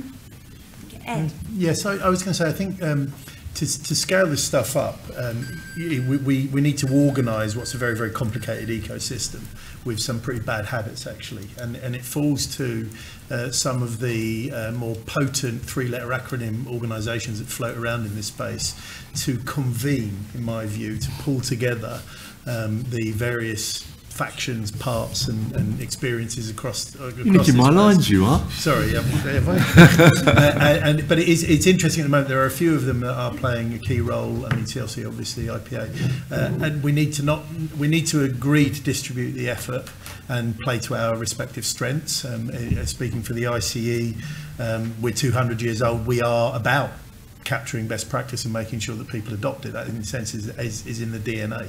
We're not necessarily very good at, it, and I think you're absolutely right. I think we're very good at writing. Well, occasionally we write the stuff down. Actually, going out and finding it and doing what you're talking about, about making the next one better, we're less good at, and there's, there's, that's part of the reboot I think we need to do. In terms of the, I'm just going to, we're asking for concrete and practical examples. I'm going to give you a couple from the ICE space, and I'm sure others around the table will share theirs. But uh, in relation to one of our biggest challenges, which is decarbonisation of concrete as a material, um, great work done by the um, Green Construction Board under the CLC. Now moving into the ICE, we've set up a task force to deliver, uh, to own the delivery on behalf of the industry of net zero concrete. And that's a that's a long-term investment pro, uh, program which is going to involve investment from EPSRC UKRI it's going to require supply chain to change its behaviour, standard setters to get on board and go how do we prove that this stuff works in long term and all, all of that sort of stuff. So the ICE is in a position to do something like that and has agreed to do so. The, the ICE is also hosting um, TIP um, uh, labs and uh, what's it called? A TIP Live, TIP Live event. So where you take the transforming infrastructure performance information and you share it with communities of 200 where they get to do this sort of stuff over an entire day, share their experiences and, and essentially accelerate the sharing of experience so that you can learn and move forward in that regard. And so I think it's really important that if you, that those those three letter acronym organizations and there's a few four-letter acronym. I don't mean to diminish TIES, but um, that we coordinate activity, play to mutual, uh, to respective strengths, uh, and and we will uh, accelerate the transformation we're talking about here. So that's my. Just picking up on that, and it's uh, I smile because uh, it wasn't me who came up with the convening uh, agenda; it was Andy Mitchell. So I'm just keen and support that. We have a 2.1 billion, so 2.1 million people industry, and if you add in all of the support industry, probably another 700,000. So three million. It's not bad as a, you know, it's not the largest, but it's still quite a large economy. If we can just pick on those things and say, and, and I'm now going to go to a sporting analogy, like Team GB, Team UK Construction, we could be pretty potent Mm. how we drive that through. So, you know, there's all different events. We all have different ways of doing things. There are training programs. You have centres for excellence. We need to establish those centres for excellence, get them to work together, and really drive that through. Which is why the MTC and Warwick Manufacturing has been successful because it's a centre for excellence Yeah. with investments. But that also means you've got to say no to some things. Uh, and I'll pick on a small thing, but it's a hobby horse at the moment. If I look another diversity strategy from a three-letter, three-letter, four-letter acronym establishment, they're all saying the same things, and they're all competing on the same stage. And actually, we should just have one. We could be far more efficient. Uh, Adam picked on it. If you know, if different sectors did earthworks, did retaining walls, did this, we wouldn't have to do it four times. We wouldn't have to have four lots of engineers competing on different type of contract. We could actually say, this is how we're going to take things forward. Now, I'm not saying we do that everywhere, but let's pick the three or four big, big ticket items that are going to make a massive impact and just say that's it. And, and if you only look at big programs, and I was in the States recently, and I drove for quite a while, I didn't see a different bridge. Mm. I didn't see, and they were all the same. Some are a bit small, a bit low, but that's the, we're on a different route. I'm not saying they got it right on everything, but they were all the same for mile after mile after mile. There was no, and I remember doing a pitch to, this is our highways agency, I think it was. It was a long time ago, and just saying that you, you've got four suppliers doing four different designs, and we could save 20 million on that. This is going back 20 years ago. You know, we just got to stop this and say, no, no, no. If we're only going to transport, every transport does this one thing. And then you drive all of that through. You do it through volume. So the volume you're talking about is too small. You know, if it's not a billion, then you kind of let it go on tactical list and you'll have long tactical lists. Pick your billion, two billion items and just get one organisation to drive it through and say, stop, stop reinventing the wheel. So you do need standardisation. You do need one organisation to, deliver, de deliver the concept, but you have to deliver it for a price point. So And it's that, it's that targeting is key. Yeah. It's just so much going on. You've got to pick half a dozen biggies. And if I was to observe about the TIES thing, I would, if you were going again, I would say, what are the challenges? I would go harder on what are the challenges. And I'd say, what are we doing more of? Because I'm very happy with doing footbridges, but it's a tiny part Mm. of the overall transport infrastructure challenge. you know, why wouldn't we go after something like, you know, rail track? Maybe you did, but, you know, maybe it's maintenance of rail track and ballast and all that sort of stuff, which you do loads of. Um, so that, that, that strategic targeting, I think, is critical. And actually, it's easy as well, because we know how much we do on these different things. We can sense the opportunities in them. Well, platforms. I love that note to kind of end on, bringing my involvement here to a close. And uh, what I would ask of you is to think about what are those strategic, what are those 1 billion, 2 billion strategic targets um, that we can collaborate together on and come back to me. Um, shouldn't take more than a couple of weeks, I would have thought. Um, but certainly after recess or during recess um, is absolutely fine with me to spend some time understanding how government can help you do this. I'm particularly interested to know what the, the green diesel or hydrogen might be, you know, collectively, those 2.1, possibly 3 million people um, involved with driving, non-road going transport and indeed road going transport, making sure that we've got the um, electric generation and also connections where it needs to be. That would be something I can really get behind and support on. And, um, and also the nature diversity. Do we need to standardise hedgehog houses? Particular personal priority of mine at the moment, having four baby hedgehogs in the garden. Um, really understanding, I was joking about that, but really understanding where are the big opportunities to target, to standardise without stifling innovation, because I am nervous about this standardisation that then conflicts with the need to research, demonstrate, and um, you know keep pushing forward, driving down costs and uh, using science. to solve the grand challenges that we have in society across the UK, but right across the world. So that's, that's my homework for you.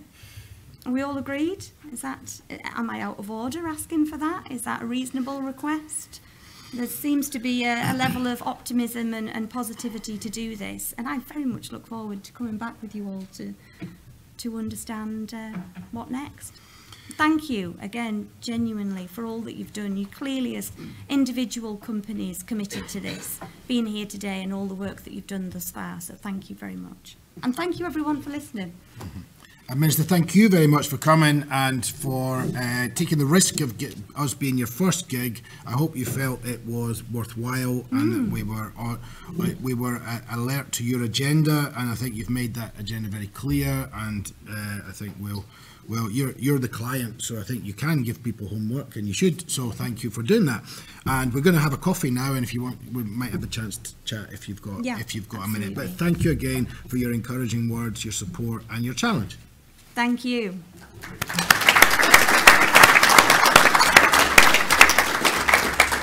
So we're going to have a 20 minute coffee break out there and uh, and then we'll come back in. So thank you everyone.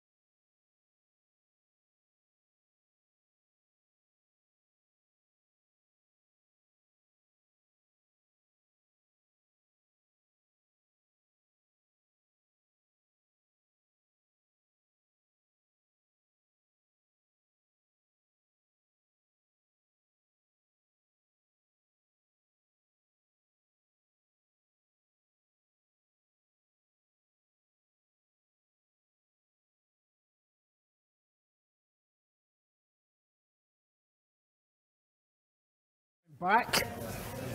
I don't know what you thought of uh, that panel. What did we think of the panel? Phil, what did you think of the panel?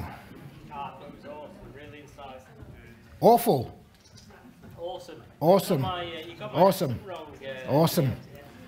Did you really think that? Uh, have you read Phil's article that we, as part of uh, Marion and Emma, do a brilliant job on trying to. So, poor old HS2, you are terrible at marketing. that was harsh. That was harsh. But we, we're not bad at marketing here at TIES Living Lab. We're good at marketing, and Phil's got a very good article which has been published recently. And thank you to those of you who've liked it. And thank you for the community. You know, and, and some of you are better at the old LinkedIn and liking and sharing than others. Some of you are very good at it. I could mention Chris Fry. I could mention others that we never hear anything from, but I wouldn't be so rude as to do that. Uh, thank you uh, for anyway for for uh, not not not tying your shoelaces and getting too bored during the panel. I saw Malcolm was looking at pictures of tractors on his phone, but he got away with it. no, I, I, hope you felt that was the right sort of debate, and it was good to it was good to highlight to the minister the, the the great work you've you've done, and I think she I think she agrees actually. I think she doesn't really understand yet why we are we are the kind of the people that get it and it's the other people in the other rooms that don't get it. So she's got a bit of uh, catching up and she's she liked the skills stuff. She was good on that so i think you'll that's a good thing for you for you guy as well so I, I, as you've noticed i'm not Antony i'm sorry i'm not Antony he's much better at being, a, he's a professional chair right he's got covid you'll have noticed peter isn't here so we let's send our thoughts to Peter. I don't know if he's streaming live. Peter, our thoughts are with you. You've worked for four years on this and you're not here. what a shame. So we are here in spirit, and because you're not here, we're massively over time and it's all a shambles. But don't worry, the qua- quality is good. Anyway, let's get back on track. We've got uh, a really important uh, harmonisation, picking up on those themes. Andy and Livia. Andy, as most of you will know, is an absolute. He's one of our kind of dirty dozen. Not that we have that in Living Lab, but if we had a dirty dozen, Andy would be one of them and has chaired the, the standard steering group through thick and thin. Hasn't it? So, Andy, over to you and to Livia. Thank you very much. Right, so good, good uh, morning all. So as uh, Neil has introduced me, I work for TFL. I sit in a team called Engineering Delivery Optimization, so I've got a remit really across the piece, but one of the roles I've picked up with that is a harmonisation of standards, and in particular, um, the chairmanship of the TIES uh, standard steering group, so working on that group with Network Rail and RSSB and Highways. So why harmonise standards? Well, we've heard earlier on this morning about the TIP roadmap and the construction playbook.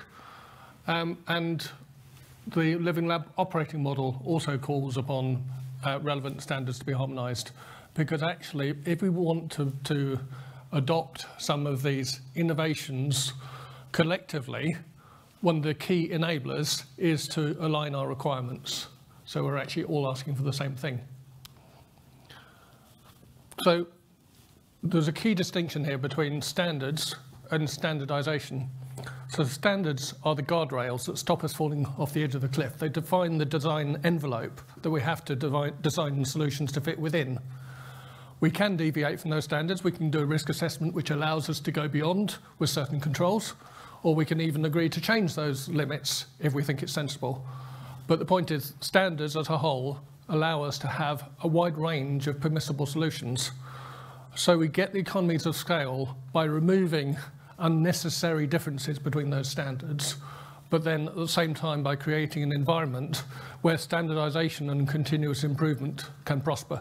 So that's the point, you know, I think Trudy was, uh, the Minister was picking up about uh, not wanting to stifle innovation. So we encourage the standardization where it makes sense, but we also allow within the standard for people to come up with disruptive solutions that achieve the same thing quite differently. And I think it's true that different organisations have reached different judgments as to what's acceptable and permissible for the same situation.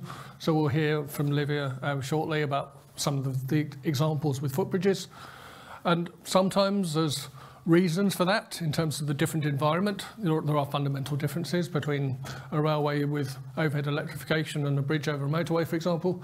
Um, but at the same time, there are also similarities. And where we do have the same situation, we ought to be getting to a consistent answer.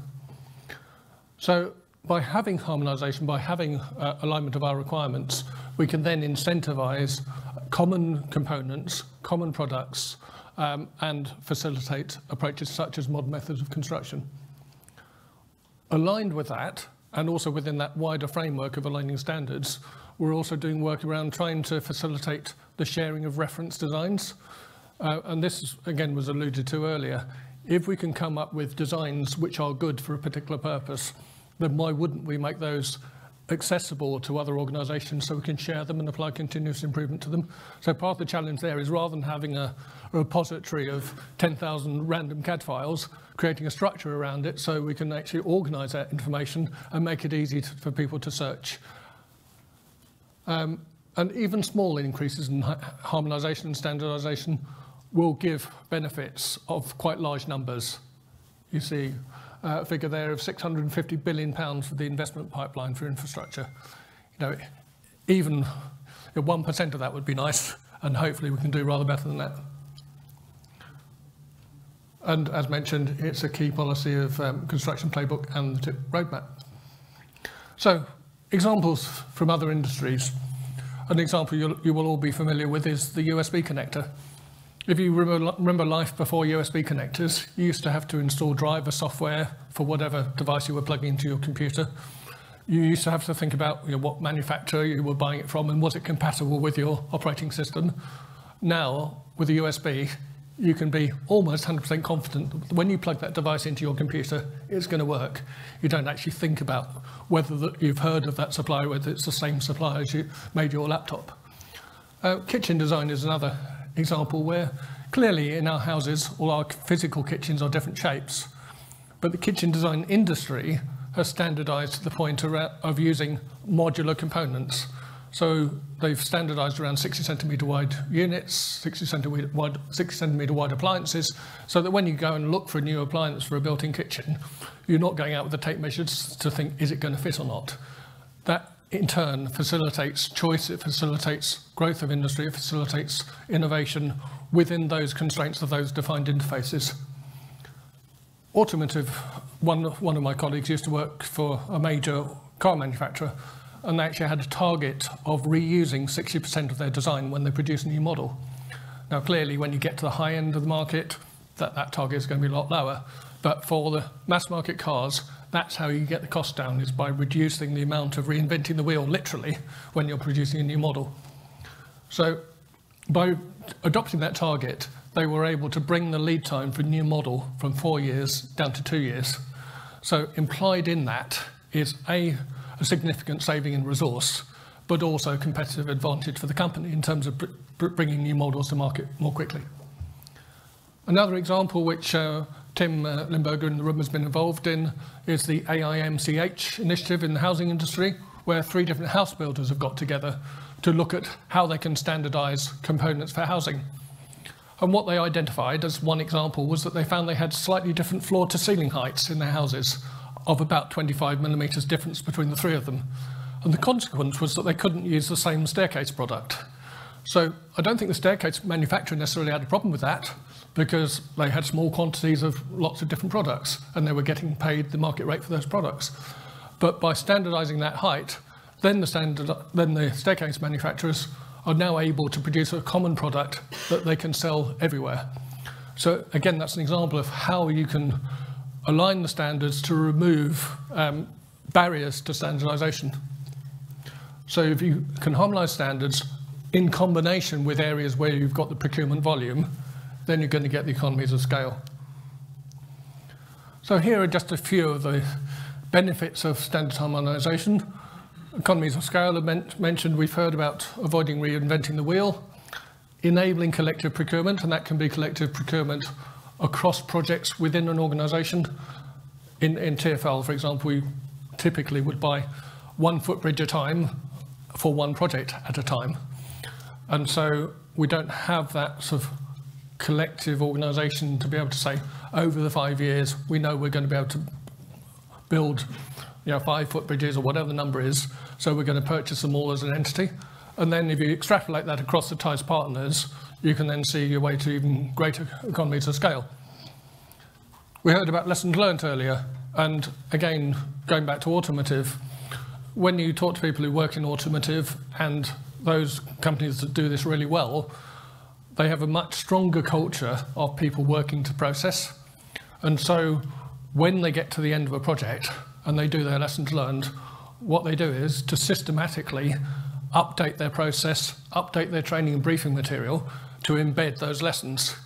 Whereas what we typically do is to capture the lessons in the big database and then require people to look at that database for the next project. And the result is that it's a bit like looking for a needle in a haystack. People may or may not find the lessons that are relevant. So individuals, in my experience, do tend to learn the lessons. Organisations are much less good at learning those lessons corporately. So if we can take not all of the lessons, but the top 20% of the lessons are actually going to drive the most value and embed those in a harmonized standard, not only are we starting to transfer the knowledge, but we're also getting the benefit across the, the, the partners rather than just doing it for one organization.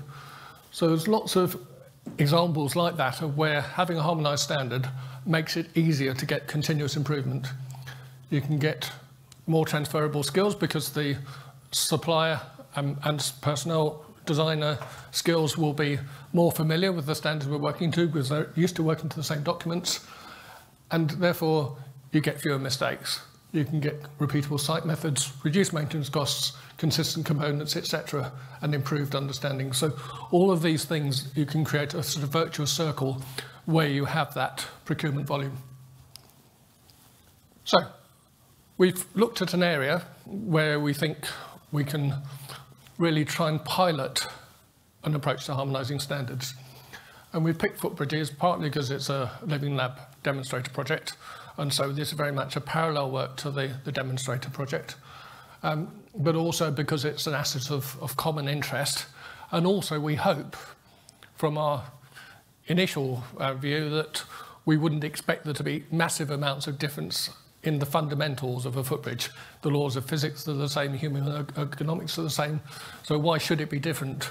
But the reality is we do have different documents which say the same thing in, in different ways. So Network Rail uh, engaged WSP on our behalf to do a bit of work to uh, really look at all of our different standards from our different partner organisations and identify what are the commonalities and differences. Um, and they came up with a colour coding system, which Liv will take you into a bit more in a minute. Um, and they've done that analysis. We are now doing a piece of work to actually develop that uh, proof of concept standard in what's shown up there as stage two, uh, to really work through what are the, the, the, practical implications of trying to align our, our requirements.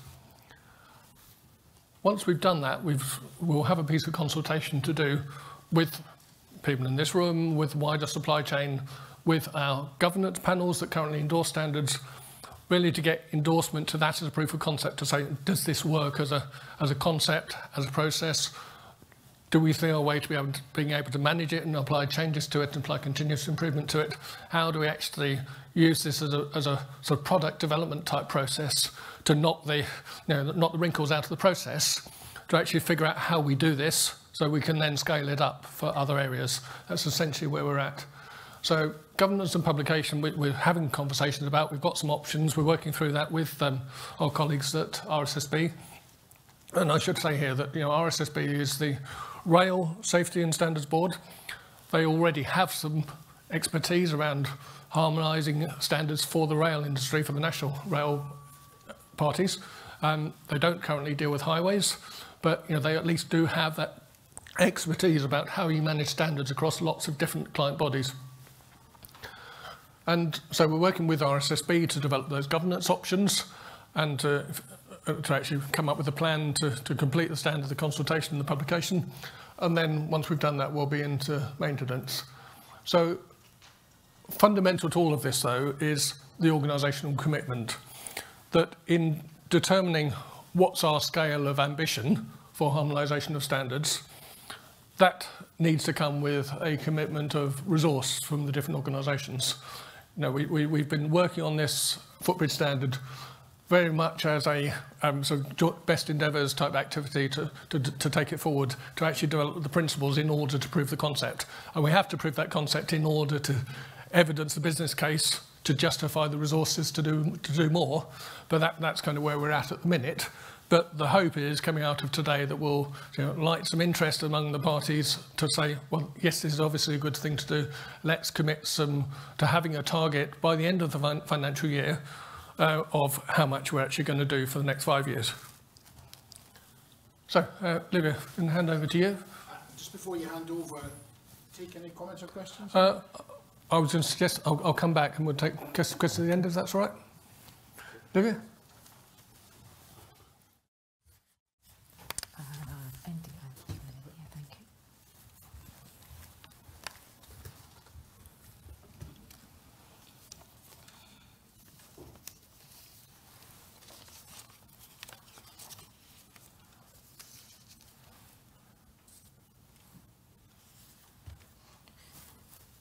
I'm taking my time because I think it's just noon now. It just hits 12 o'clock. So good afternoon, everyone. I'm Livia Garcia, Principal Civil Engineer with RSSB, Rail Safety and Standards Board.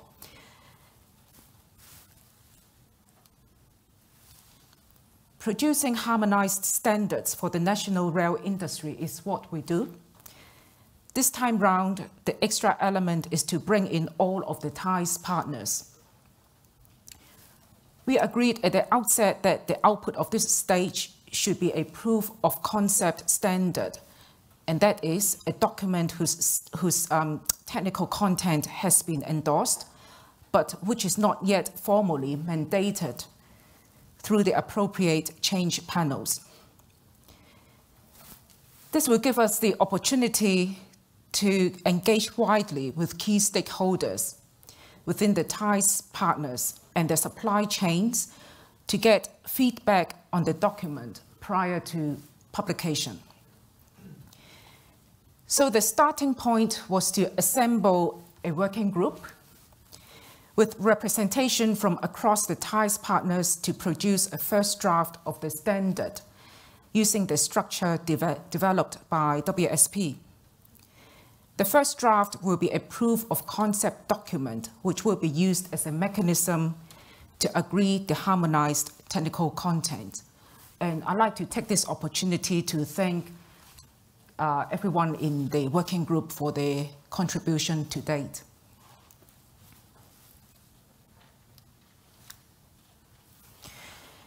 As mentioned by uh, Andy earlier on, WSP did the initial work to compare and contrast the requirements from the various input standards. WSP developed a system of color coding. So these are the numbers of statements or clauses from existing standards. Green requirements are those which are essentially the same across different organizations. Blues are statements which could, in principle, apply to all partners. The red are the statements that are only applicable to one partner, and the yellow are statements with technical differences. So as you can see, the um, actual technical differences, clauses with te technical differences are actually very few.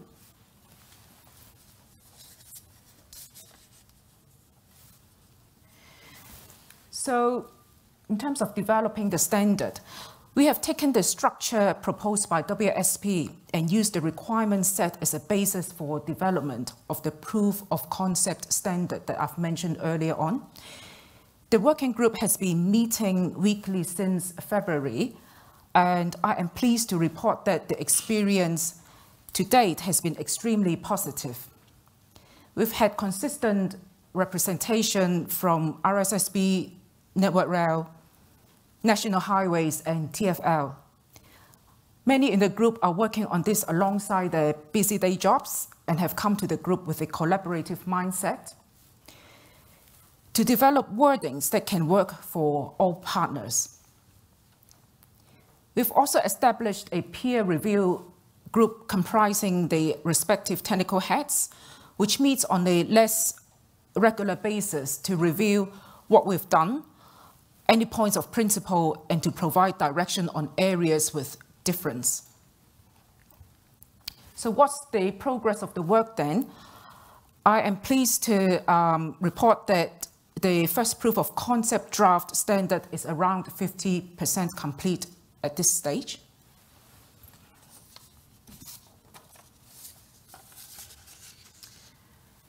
So here are some examples of, um, of the harmonization opportunities that we have identified so far within the working group. We have agreed on some common definitions and terms. For example, we have agreed on what are actually requirements versus guidance. Maybe some examples, more specific examples can be added into guidance instead of uh, adopting them as requirements. We have identified that slip resistance in surfacing, for example, is an area where harmonization could be achieved. At the moment, different levels of resistance are adopted by different partners, but we have agreed in principle to standardize this area. The working group has also identified that footbridge heights, especially over the railways, where there are overhead lines, can really benefit from having more guidance and standardization. And also, we have had some fruitful discussions around the provision of lifts or ramps for accessibility and we have arrived at more consistency thinking across partners in this area. So um, what are some indirect benefits that could stem out from this harmonization exercise? We believe that there is huge potential to enable common procurement specification for collective procurement.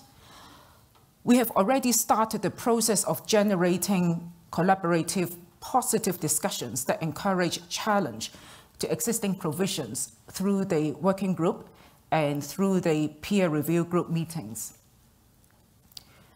The work could help to build relationships and to encourage best practice sharing within the transport industry. And furthermore, the key objective to achieve consistent application of the standard across partners could be materialized. So by agreeing common requirements for identical scenarios, we don't necessarily make a significant cost saving for one single footbridge or, or structure. But we do expect to unlock economies of scale for multiple footbridges by having common requirements and reducing reinventing the wheel, the term that we have heard many, many times today. Thank you. So back to you, Thanks. Thanks, Olivia. So, um, what next? Well, first of all, we obviously have to complete our work to conclude the first draft of the proof of concept standard. Um, I'm pleased to say that you know, all, all parties involved are, are fully committed to doing that. We all see the value of doing it. I would really echo Livia's um, comment that everyone in that group has come to the group with the right mindset and with integrity. People who obviously got different um, reasons why their organisations have got different requirements, but um, by you know, unpicking the reasons why, for example, network rail footbridges normally have lifts for accessibility and highway footbridges almost never do. They always have ramps. Unpicking that to figure out, well, what's right for a different each scenario and trying to come up with consistent wording that work for everyone. Because it's not right to have a, a lift in for, for a footbridge over a railway between two fields and a public footpath that isn't accessible. That would clearly be nonsense. You've also got the overhead of people potentially being stuck in the lift for a period of time and taking a long time to get uh, freed, and you've got the maintenance costs as well. So it's about understanding what's right for different situations and actually having that clarity of guidance so you're not having that conversation on every single project. And Livia mentioned the point about the, the footbridge heights. You'd think you know, building a footbridge over an overhead line electrified railway would be a common thing to do, and it is. But there isn't a standard height for a footbridge over an overhead line electrified railway in the Network Rail standards currently. So, so part of this is about identifying, having harmonised, identifying where do we think are the opportunities to go a little bit further and actually lay down some ground rules where they don't currently exist. So um, complete the footbridge standard, undertake some formal design reviews with, with a wider stakeholder group, bringing in supply chain representatives and maintainers, etc., and doing some industry consultation, consulting all of the governance panels, and just within TFL, we have got governance panels galore. We've got one for London Underground, we've got DLR, we've got trams, we've got overground. Each of our modes have got its own governance panel at the moment, and that's something we're working on internally to try and harmonise so we can at least have a, a one-stop panel that is capable of endorsing pan TFL changes. Um, and that's just a microcosm of the UK transport industry as a whole. So when you take that up a level and look at you know, the whole all, of all the clients, in Network Rail have got their, their standards groups, RSSB have got theirs, Highways have got theirs. So it's about trying to herd all the cats, if you like, to, to actually get them on board with what we're trying to achieve here and find the most effective way through, which is why the governance is taking a little bit of time to actually nail down, but it's really important to get it right because it's fundamental to making this work. Um, hosting the, the standard for the, for the purpose of the single footbridge standard, RSSB are in the lead, lead for developing it, so RSSB will be the owner of that document. Um, we will you know, use this, as I say, as a proof of concept. We are you know, looking at what the right answer is in terms of if we, if we were able to be successful in scaling this up. What we don't want to do is set up an, another clone of RSSB as an, another standards organisation, as another you know, government-owned standards body. So it's about trying to make it work most effectively with the organisations we've got. Um, but we do need that process for ongoing management in terms of how do you manage departures. For example, it, it makes sense that we are all accountable for our own safety management system, so each organisation has got to be able to decide to deviate from the standard where it's applicable. But at the same time, you also want those deviations to get reported back to the, the central standard owner so you understand what are the recurring themes that everyone's finding with that standard and we don't have a situation where everyone's quietly ignoring it and doing their own thing. So you need that sort of continuous improvement cycle, feedback loop going on, and, and then monitoring period once we've published, including some form of post-implementation review is what we're envisaging. So thinking about the benefits, um, as, as Olivia mentioned, I think what we're recognising is we haven't really had those eureka moments in developing the footbridge standard where we say, oh, we didn't realise you could do it like that. We can save so much money by, by changing the way we design footbridges. We haven't really had that, to be honest. But at the same time, by taking something like slip resistance and saying, well, actually, if we all had the same slip resistance, it would then encourage suppliers to offer the same product. Um, we then get the economies of scale. The actual choice of slip resistant, it, it does influence what surfaces you use for your flooring. It doesn't necessarily make a big difference to the cost of a single footbridge. So it's about aligning the requirements. You can get the economies of scale. You then get your design cost down. You get production cost down. Um, and having got that consistency of approach, it then creates the environment, as mentioned before, where you can create those reference designs. You can create a repository of, of boilerplate requirements for our technical specifications where we can effectively all look on a, a common system and look at what others are, are specifying and you know, take those vanilla requirements and then tweak them, tailor them for our own purposes. And also it means that suppliers, when they're receiving those specifications, are receiving a common look and feel for those specifications. So they're used to you know, receiving that specification. They know where to look for the, you know, the, the specific elements like the dimensions or the things that would be specific to the location. So by getting greater consistency, you can then um, get better at benchmarking. It's quite difficult at the moment to really, as Ben has found out, to, to actually benchmark the costs of footbridges because you're not necessarily comparing apples and oranges. Uh, or apples and apples even, um, you know, you, you get prices from local authorities and some of those bridges are, are, are bridges over streams, for example, about 10 foot long. And we're trying to compare that cost of one of those with a, a, a sort of bridge over a four lane or four lane highway. You know, it's it, it, it, it is important we get that taxonomy clear, that classification clear, so we are clearly understanding what we're comparing and what's included in the cost of what isn't. So things like, you know, it does it include the lighting cost? Does it include um, you know, provision of lifts? All those factors clearly have a big bearing of cost. It's really important in, in classifying that we were able to compare. Um, now, the footbridge pipeline estimated in the work Ben's done as 135 bridges over five years. Now, at approximately you know, two or three million pounds for a bridge over a railway, know, that's clearly a substantial sum, sum of money. So in that context, you know, we don't think it's unreasonable that we should be expecting savings of you know, 10 million pounds and, and probably a lot more than that from this work. It's quite difficult to nail down a precise number because of the variability of the pipeline. But at the same time, understanding the size of the prize is actually fundamental to justifying why we should be putting more effort into harmonisation of standards. And again, it comes back to the point made earlier about picking those relatively small number of key um, areas for harmonisation, doing those first, and then really working forward on an, an 80-20 basis of where is it that this approach would make sense. So we thought of a few other areas where standardisation should bring benefits. Equipment rooms being an obvious one, being one of the other demonstrators. Uh, you know, the product that has been developed for the Living Lab has been developed for TFL. There has been an initial piece of work done to identify what the differences in standards are between ourselves and Network Rail and the others. Um, so in principle, we could do the same piece of work on equipment room standards for harmonisation. Um, that, that's a piece of work that we're not currently resourced to do, but absolutely would make sense to do going forward. Um, other areas we've identified re retaining walls, areas of common interest, we all have them, uh, earthworks, hazardous materials. Um, but yeah, very well, welcome to receive um, any other suggestions for areas where we think standardisation would give benefits. And I think a really important point to stress here is it's about pitching it at the right level.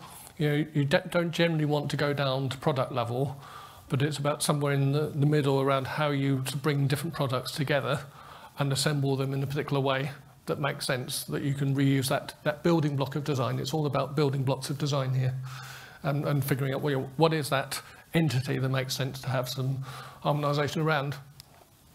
So, some key messages. We've developed a methodology for harmonising our requirements. We're developing the governance arrangements to make it work.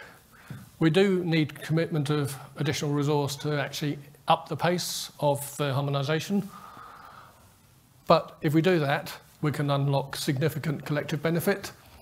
The size of that benefit depends on the size of the work pipeline, clearly, but it also potentially can be um, expand expanded if we can really crack collective procurement and actually find ways of saying for the TIES partners as a whole, we know we need 100 footbridges, so why wouldn't we set up that production line of 100 footbridges?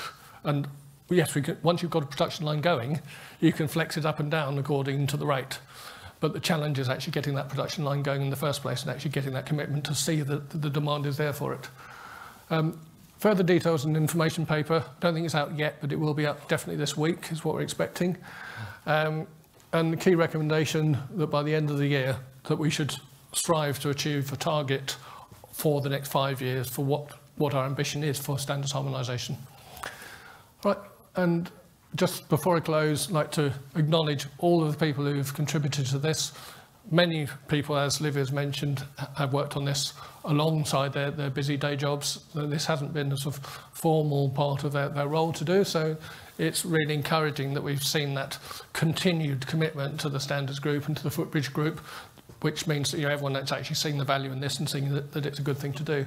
Um, so two working groups, uh, RSSB for, for agreeing to sort of lead the development on this and to, to really be a strong partner in developing the governance arrangements, and then the sort of key infrastructure clients, Network Rail, uh, Transport for London and National Highways. Right, on that note, any questions?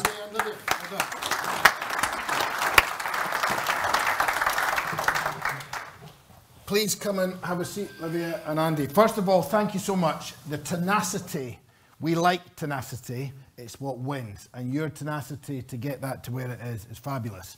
Uh, so many points to bring out there. I love, did you like that? Harmonisation of harmonisation, the different panels. I mean, that's brilliant, right? That shows you the, the, the size of the problem. I remember when we did the benchmarking for other sectors, I think you're underestimating your, your, your benefits. And it's always better to be too low because DFT will kill us if we say something too much. But the other sectors, the water sector, have standardized pumps and saved a fortune because the OPEX of these assets is far more than the CAPEX. So that requires a whole life cost. So I'd like to bring in Malcolm or Doug uh, on the whole life costing point. Just any comments from you on that? You know, is that I know that's not been what you've been focusing on, but there's a whole life there's a whole life thing here where we can really we could really add value to this. Thank you for the warning, Neil. Yeah. Um, you know that. Well, I could talk for a long time, but I won't, I promise you. Um, yeah, the, the- the issue with whole life costing is that, that I think everybody recognises that finding the best whole life value, which I would rather talk about than whole life cost, um, may require, not always, but may require an upfront investment. And so there is always a tension between affordability and optimum solution. And, and that is the conundrum that has to be resolved. And I would always rather go for long-term benefits and value than I would for today's affordability, but I recognise very much the constraints that everybody's working under. Yeah, brilliant comment. I'm going to bring Guy now in the tradition of not not uh, not giving people any warning. Guy, you measure, you know, in, in, in some of your customers have got many different kinds of points, haven't they? Uh, and you know, you're someone who deals with and understands these OPEX costs. Have you got any comments on? You might not be up to date with the OPEX of footbridges. We don't expect you to be. I never, I never knew how excited I would get about footbridges before I joined Living Lab. But can you give us an analogue, something you've, you've, some of the work you've been doing in other areas? Um, I, firstly, I'd say that I used to build a lot of bridges in, earlier in life, so I'm quite excited about bridges. Um, You blew, you blew them up as well, didn't you? Yeah, Though.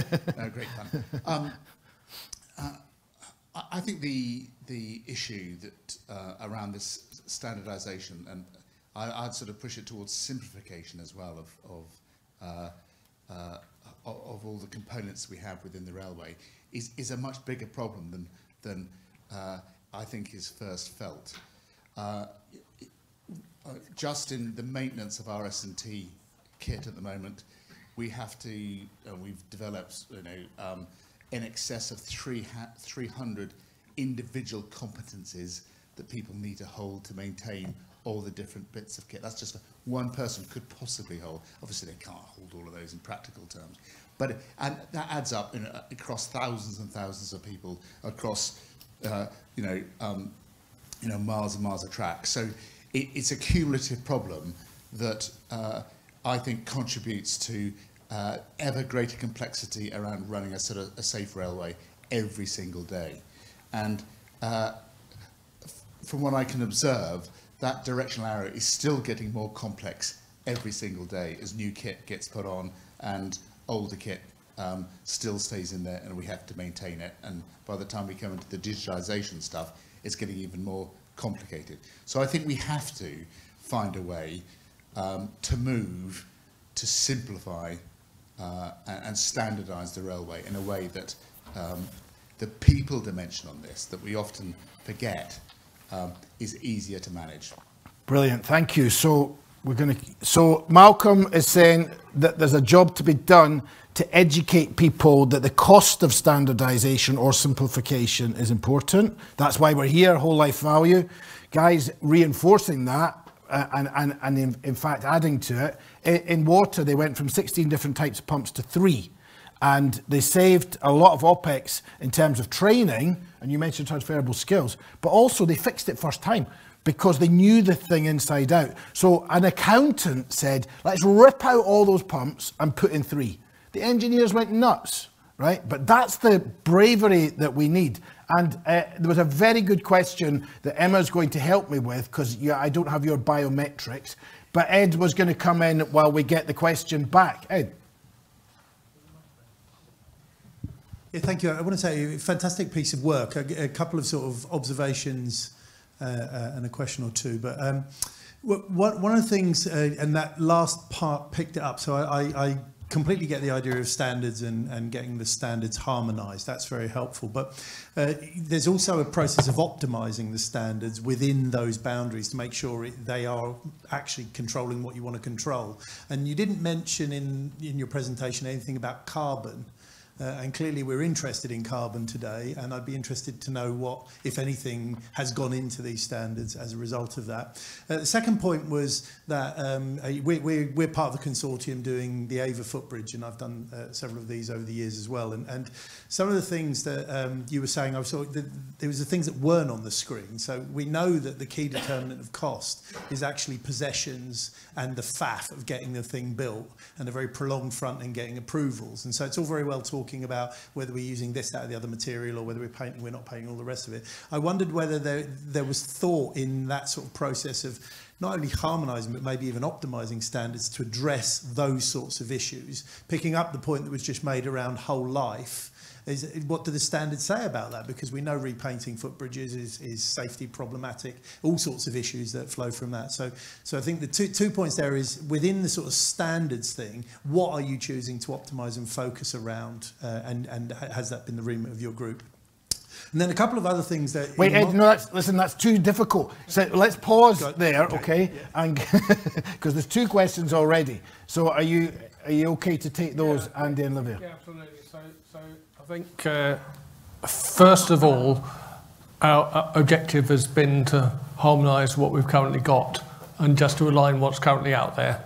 So we have one single document that we agree represents the as-is situation. Before we go to publication, we are looking to take that to a design review process to say, you know, what are the immediate opportunities that we ought to be looking to incorporate in the standard before we before we publish. And one of those, for example, we've already had the challenge from know, profession heads to actually really come up with the answers about um, footbridge height, for example, which to a layperson should be absolutely standard. There's no reason for it not to be standard, but it isn't standard. so there's some obvious things that we should tackle um, before we before we publish. There will be other things um, which will be subject to continuous improvement, and and I think you know, sustainability and carbon absolutely in the forefront now. It wasn't when most of these standards were written, and so I think there's a you know, a, a there's, it's a completely valid question. It's kind of on the, in, on the, on the, on the, um, you know, on the list of things to try and figure out what we want to say about it. So let's pause there, and then we're going to come on to the possession point, and then Ed's going to come back, and I've got another question. Now, I want everyone to know, if those of you that were awake for the panel will remember the Minister pressing the, the people on the panel on carbon, mm. and the people on the panel talking about embankments and uh, aggregates and concrete and mm-hmm. stuff like that. Now, Andy gave us those slides before the panel, so you were completely in tune with mm. that debate. And I suspect you're going to be pressed on those other mm-hmm. subjects. Yeah. Now, Ed was asking also about possession time. Yeah, well, I think Is that something you've touched on? Not really. It, it isn't. It isn't something we've touched on in the standards, but you know, in the same way that we've talked about reference designs and boilerplate requirements, there's an awful lot of different areas where, having harmonised the standards, we can then look and branch out and say, well, where are the areas that we're different that we can actually build on the, the aligned standards to, to harmonise. But uh, the thing is, when, when you start looking at possession arrangements, you are talking about fundamentally different um, you know, approaches to safety. I mean, on, on the underground, for example, we allow people on the track when the, when the power's off on the conductor rail as, as one of the means which we satisfy ourselves that there aren't going to be any trains coming. You do that on Network Rail, you're probably going to get hit by a diesel train. You know, it's, there are some fundamental differences in the culture of the way the safety systems are set up, which are not But going to be straightforward. it's a big factor, Ed, and I know why you're asking it. Ali's here. He's somebody who thinks about time. Some of the footbridge benefits of the, the off-site dimension Mm, meant mm. that uh, we did save a lot of time, Yeah. and we need to get better at valuing that time. I think- Livia, and so- then uh, then Andy back. Livia, Andy, and then back to Ed, and then Caroline. Livia. Yes, um, just the point about sustainability. I think, like many things, we have to find the balance. For example, when we were discussing about, say, um, the minimum dimensions for footbridges, we did think about uh, um, sustainability. For example, it's easy to just adopt the more, you know, the most onerous number, for example. But then there were times when we actually questioned, uh, say, one organization is adopting two meters, or another organization comes up with 1.5. Why the difference? And I think the most important point to bear in mind is um, the standard isn't, as I mentioned in my presentation, it's not just about one footbridge. We are affecting many, many footbridges that would follow this guidance. So um, yeah, that's, that's something we have you know, thought about when we were developing the draft document to date. Thank you, Olivia. Andy, and then Yeah, back to I, Ed. I was just building on the point about the possessions. One area we have been working on in TFL is really to think a lot more about implementation strategy as part of our option selection stage. By implementation strategy, it's you know, multifaceted. It's it's the migration stages of what stages are you going to go through to deliver whatever asset it is. But it's also are you going to do off-site construction or on-site construction? How are you actually going to put the asset in service? Are you going to you know, deliver it in you know, engineering hours, or you going to have a closure, etc.? All those sort of factors around how you implement the works are fundamental to to risk, they're fundamental to uh, operational disruption, fundamental to cost and schedule. And by understanding those sub-options, once you've decided what the, what the sort of outcomes of the project are, are going to be, understanding those sub-options, you can actually sort of really achieve some benefits. Because sometimes we jump into, uh, in, into contract having decided what it, what it is we want to specify without having really thought through those implementation options. Thank you, Andy. Ed, you're one one time back. Just talking, it'll come on. It, it's magic.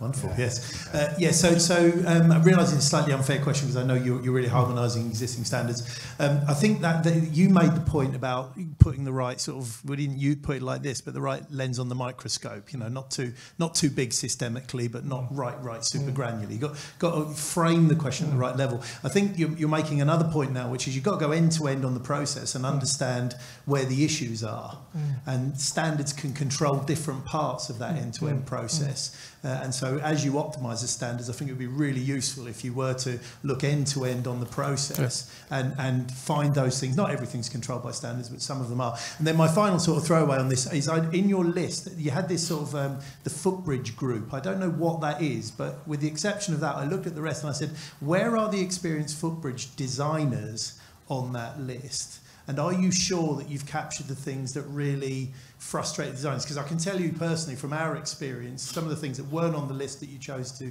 select were about the design of the balustrade and whether you can put your hand through it, you can't put it through, what size of openings you've got, the whole issue of the balustrade and the illumination of faces and uh, these these sorts of things are intensely time consuming when you're going back and forwards with uh, standards authorities to resolve and they weren't on the list and I just Mm, wondered mm. whether you had people who experienced the uh, the application of standards from a sort of designer and constructor Okay, so two questions there. Thanks. And I'll Ed. shut up now, The, sorry. the end-to-end process and then the, the expertise. To what extent did you need that? So, Well, I think end-to-end pro- process, the answer is absolutely yes. We need to understand how the standard will actually um, be applied and what opportunities can it create for you know, spin-off bits of work. But I think perhaps, Olivia, because you, you come from a structural engineering background, you can talk about the expertise side of things. Yes, I think uh, that's a very good point. Um, I think that's where um, the consultation comes into play, and I myself have a bit of experience in looking at putting footbridges into, um, say, for example, existing some busy existing um, stations, um, and yeah, also reviewed many designs done by other other consultants.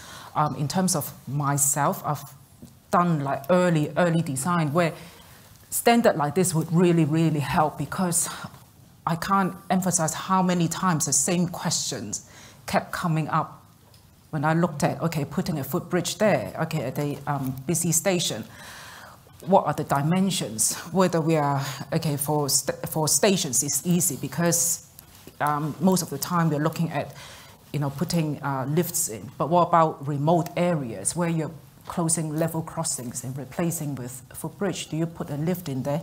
So I have to say, like, from time and time again, the same questions kept coming up.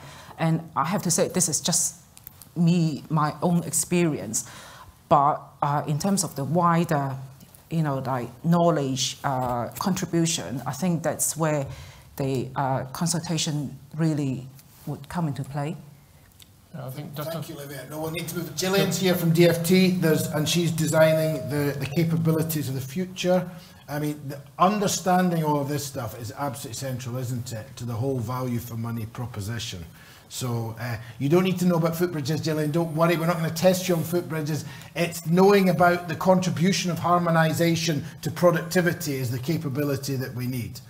Uh, there's a question from Caroline. Caroline, I think it's Caroline Botwood, who is David's boss. So we better take that question. Very good question, as you'd expect from Caroline. She's saying, okay, there's a number up there. Was it 10 million? What does it cost? And this is Malcolm's point. There will be a cost to this. What does it cost to get 10 million? Roughly, we're we're talking about of the order of £100,000 worth of time to actually develop the standard in terms of the actual first draft of the proof of concept. It's somewhere in that order, um, and, and allowing for a degree of iterations. Um, so, yeah, it, it's not an, it's not an insignificant volume of effort. I mean, we've had a working group meeting weekly since February on this, and people have been doing work off, offline as well. And then we, we're halfway through the first draft, so you add up all that time, it does add up. But uh, you know, £100,000 to get 10 million is still a pretty good rate of return. ROI. It's a decent ROI. You can take that to any of your Mm. panels, and I know you've got a lot of them. David and then Gerard. Sorry, David, uh, Nick, then Gerard. Olivia, Andy, great work on this and to your team. It's been brilliant. So I'm just picking up on what the Minister said, said earlier about stifling innovation. So I can absolutely see the benefit of harmonisation of standards, absolutely.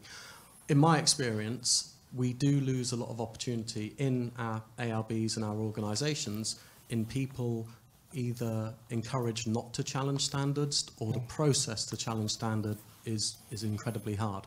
So there's a whole behaviour and culture element to really bring out not just the value of following harmonised standards, but also identify innovation and opportunity. Have, have, has, have you and the working group thought about that people and that culture and that behaviour side, or is that part of the legacy we're leaving behind?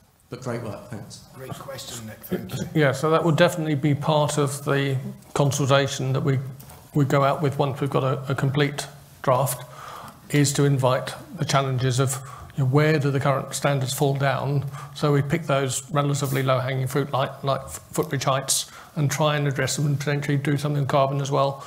Um, but I think the one of the you know, retrospective experiences of standards is a lot of work goes into them, but then they tend to stand still for an awful long time and they get out of date.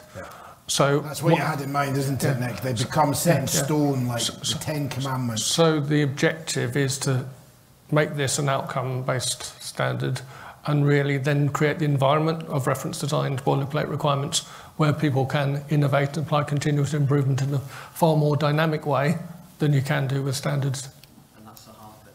Yeah. Okay, great point. Great legacy point, though. Gerard.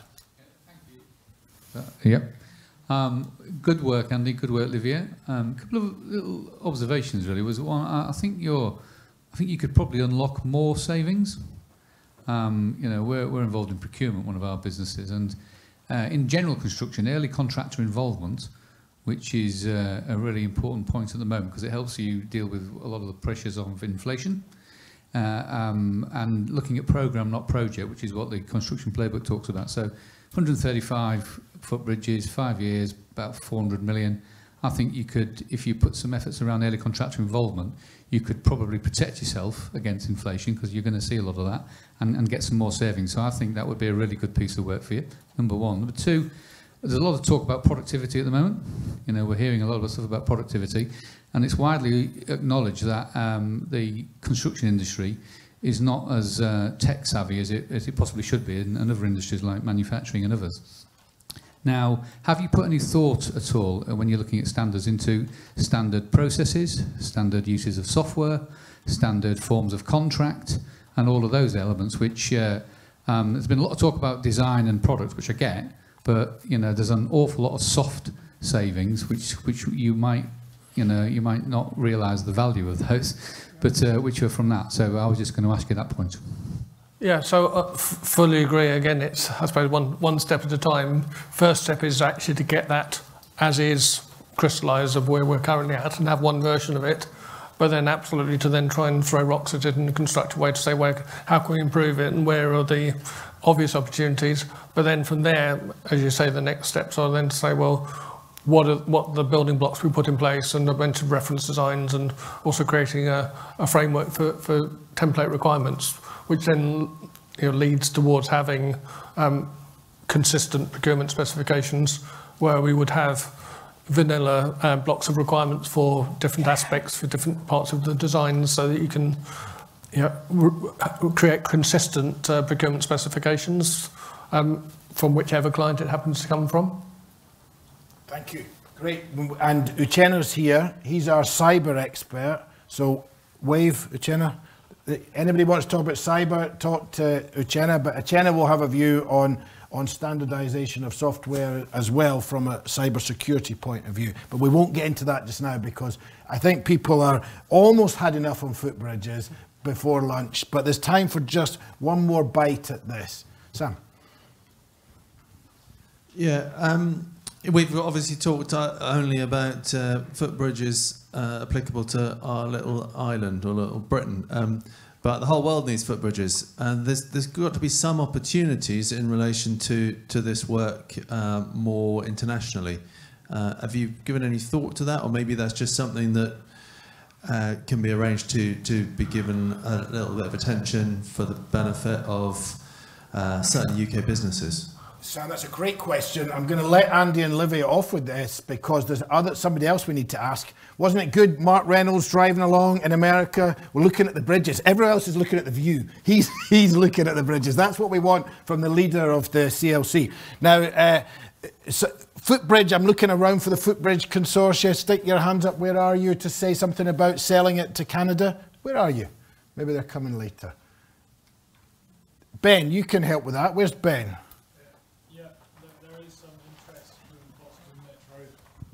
Um, I, I know there's an interest from Canada and Australia as well. It's uh, dependent on the demonstrator being finished, so very likely there will be some sales abroad. Terrific.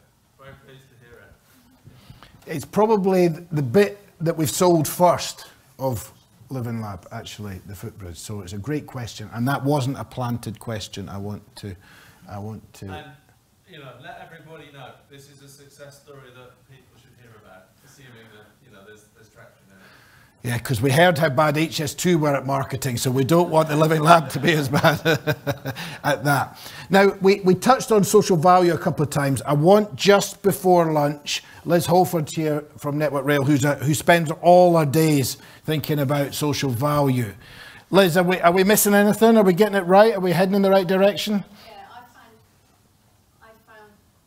Guy's, obs- l- you know, the, the connection that Guy made between the harmonisation of standards and the way that that brings um, possibilities to, to save money in terms of the number of competencies that are required of people. But where my head went, and Guy and I were talking about this during the break, is that by addressing that, we could reduce some of the barriers to entry um, to the industry because at the moment, you know, we're, we're, we're, we're, you know, our demographic is, is pretty uniform. We're not great at Yeah. social mobility. Um, and so, yeah, my, my brain was making the connection between Brilliant. between Yeah, so things. I think that's a general comment that the OPEX, the people cost, the hidden people costs, which some people in this room really understand, uh, are, are often where the, the, the whole life value will take you will take you to. So big thank you to Andy and Livia. Let's give them another clap. That was some tough questions. Just before you go, I should give you encouragement. We've standardised apprenticeships across all sector for years. So it can be done, and apprenticeships are quite complicated too. So uh, it, it is possible. So thank you very much. Well done. Keep going. I suspect you'll be hearing a bit more about embankments by the sounds of it. That's going to be next. And, uh, and, the, and the whole life value piece. Thank you very much. It's time for lunch. So out there, uh, back here for half past one. So if you're going to go any shopping, in, in, you'll be back here for half past one. Thank you very much, everybody.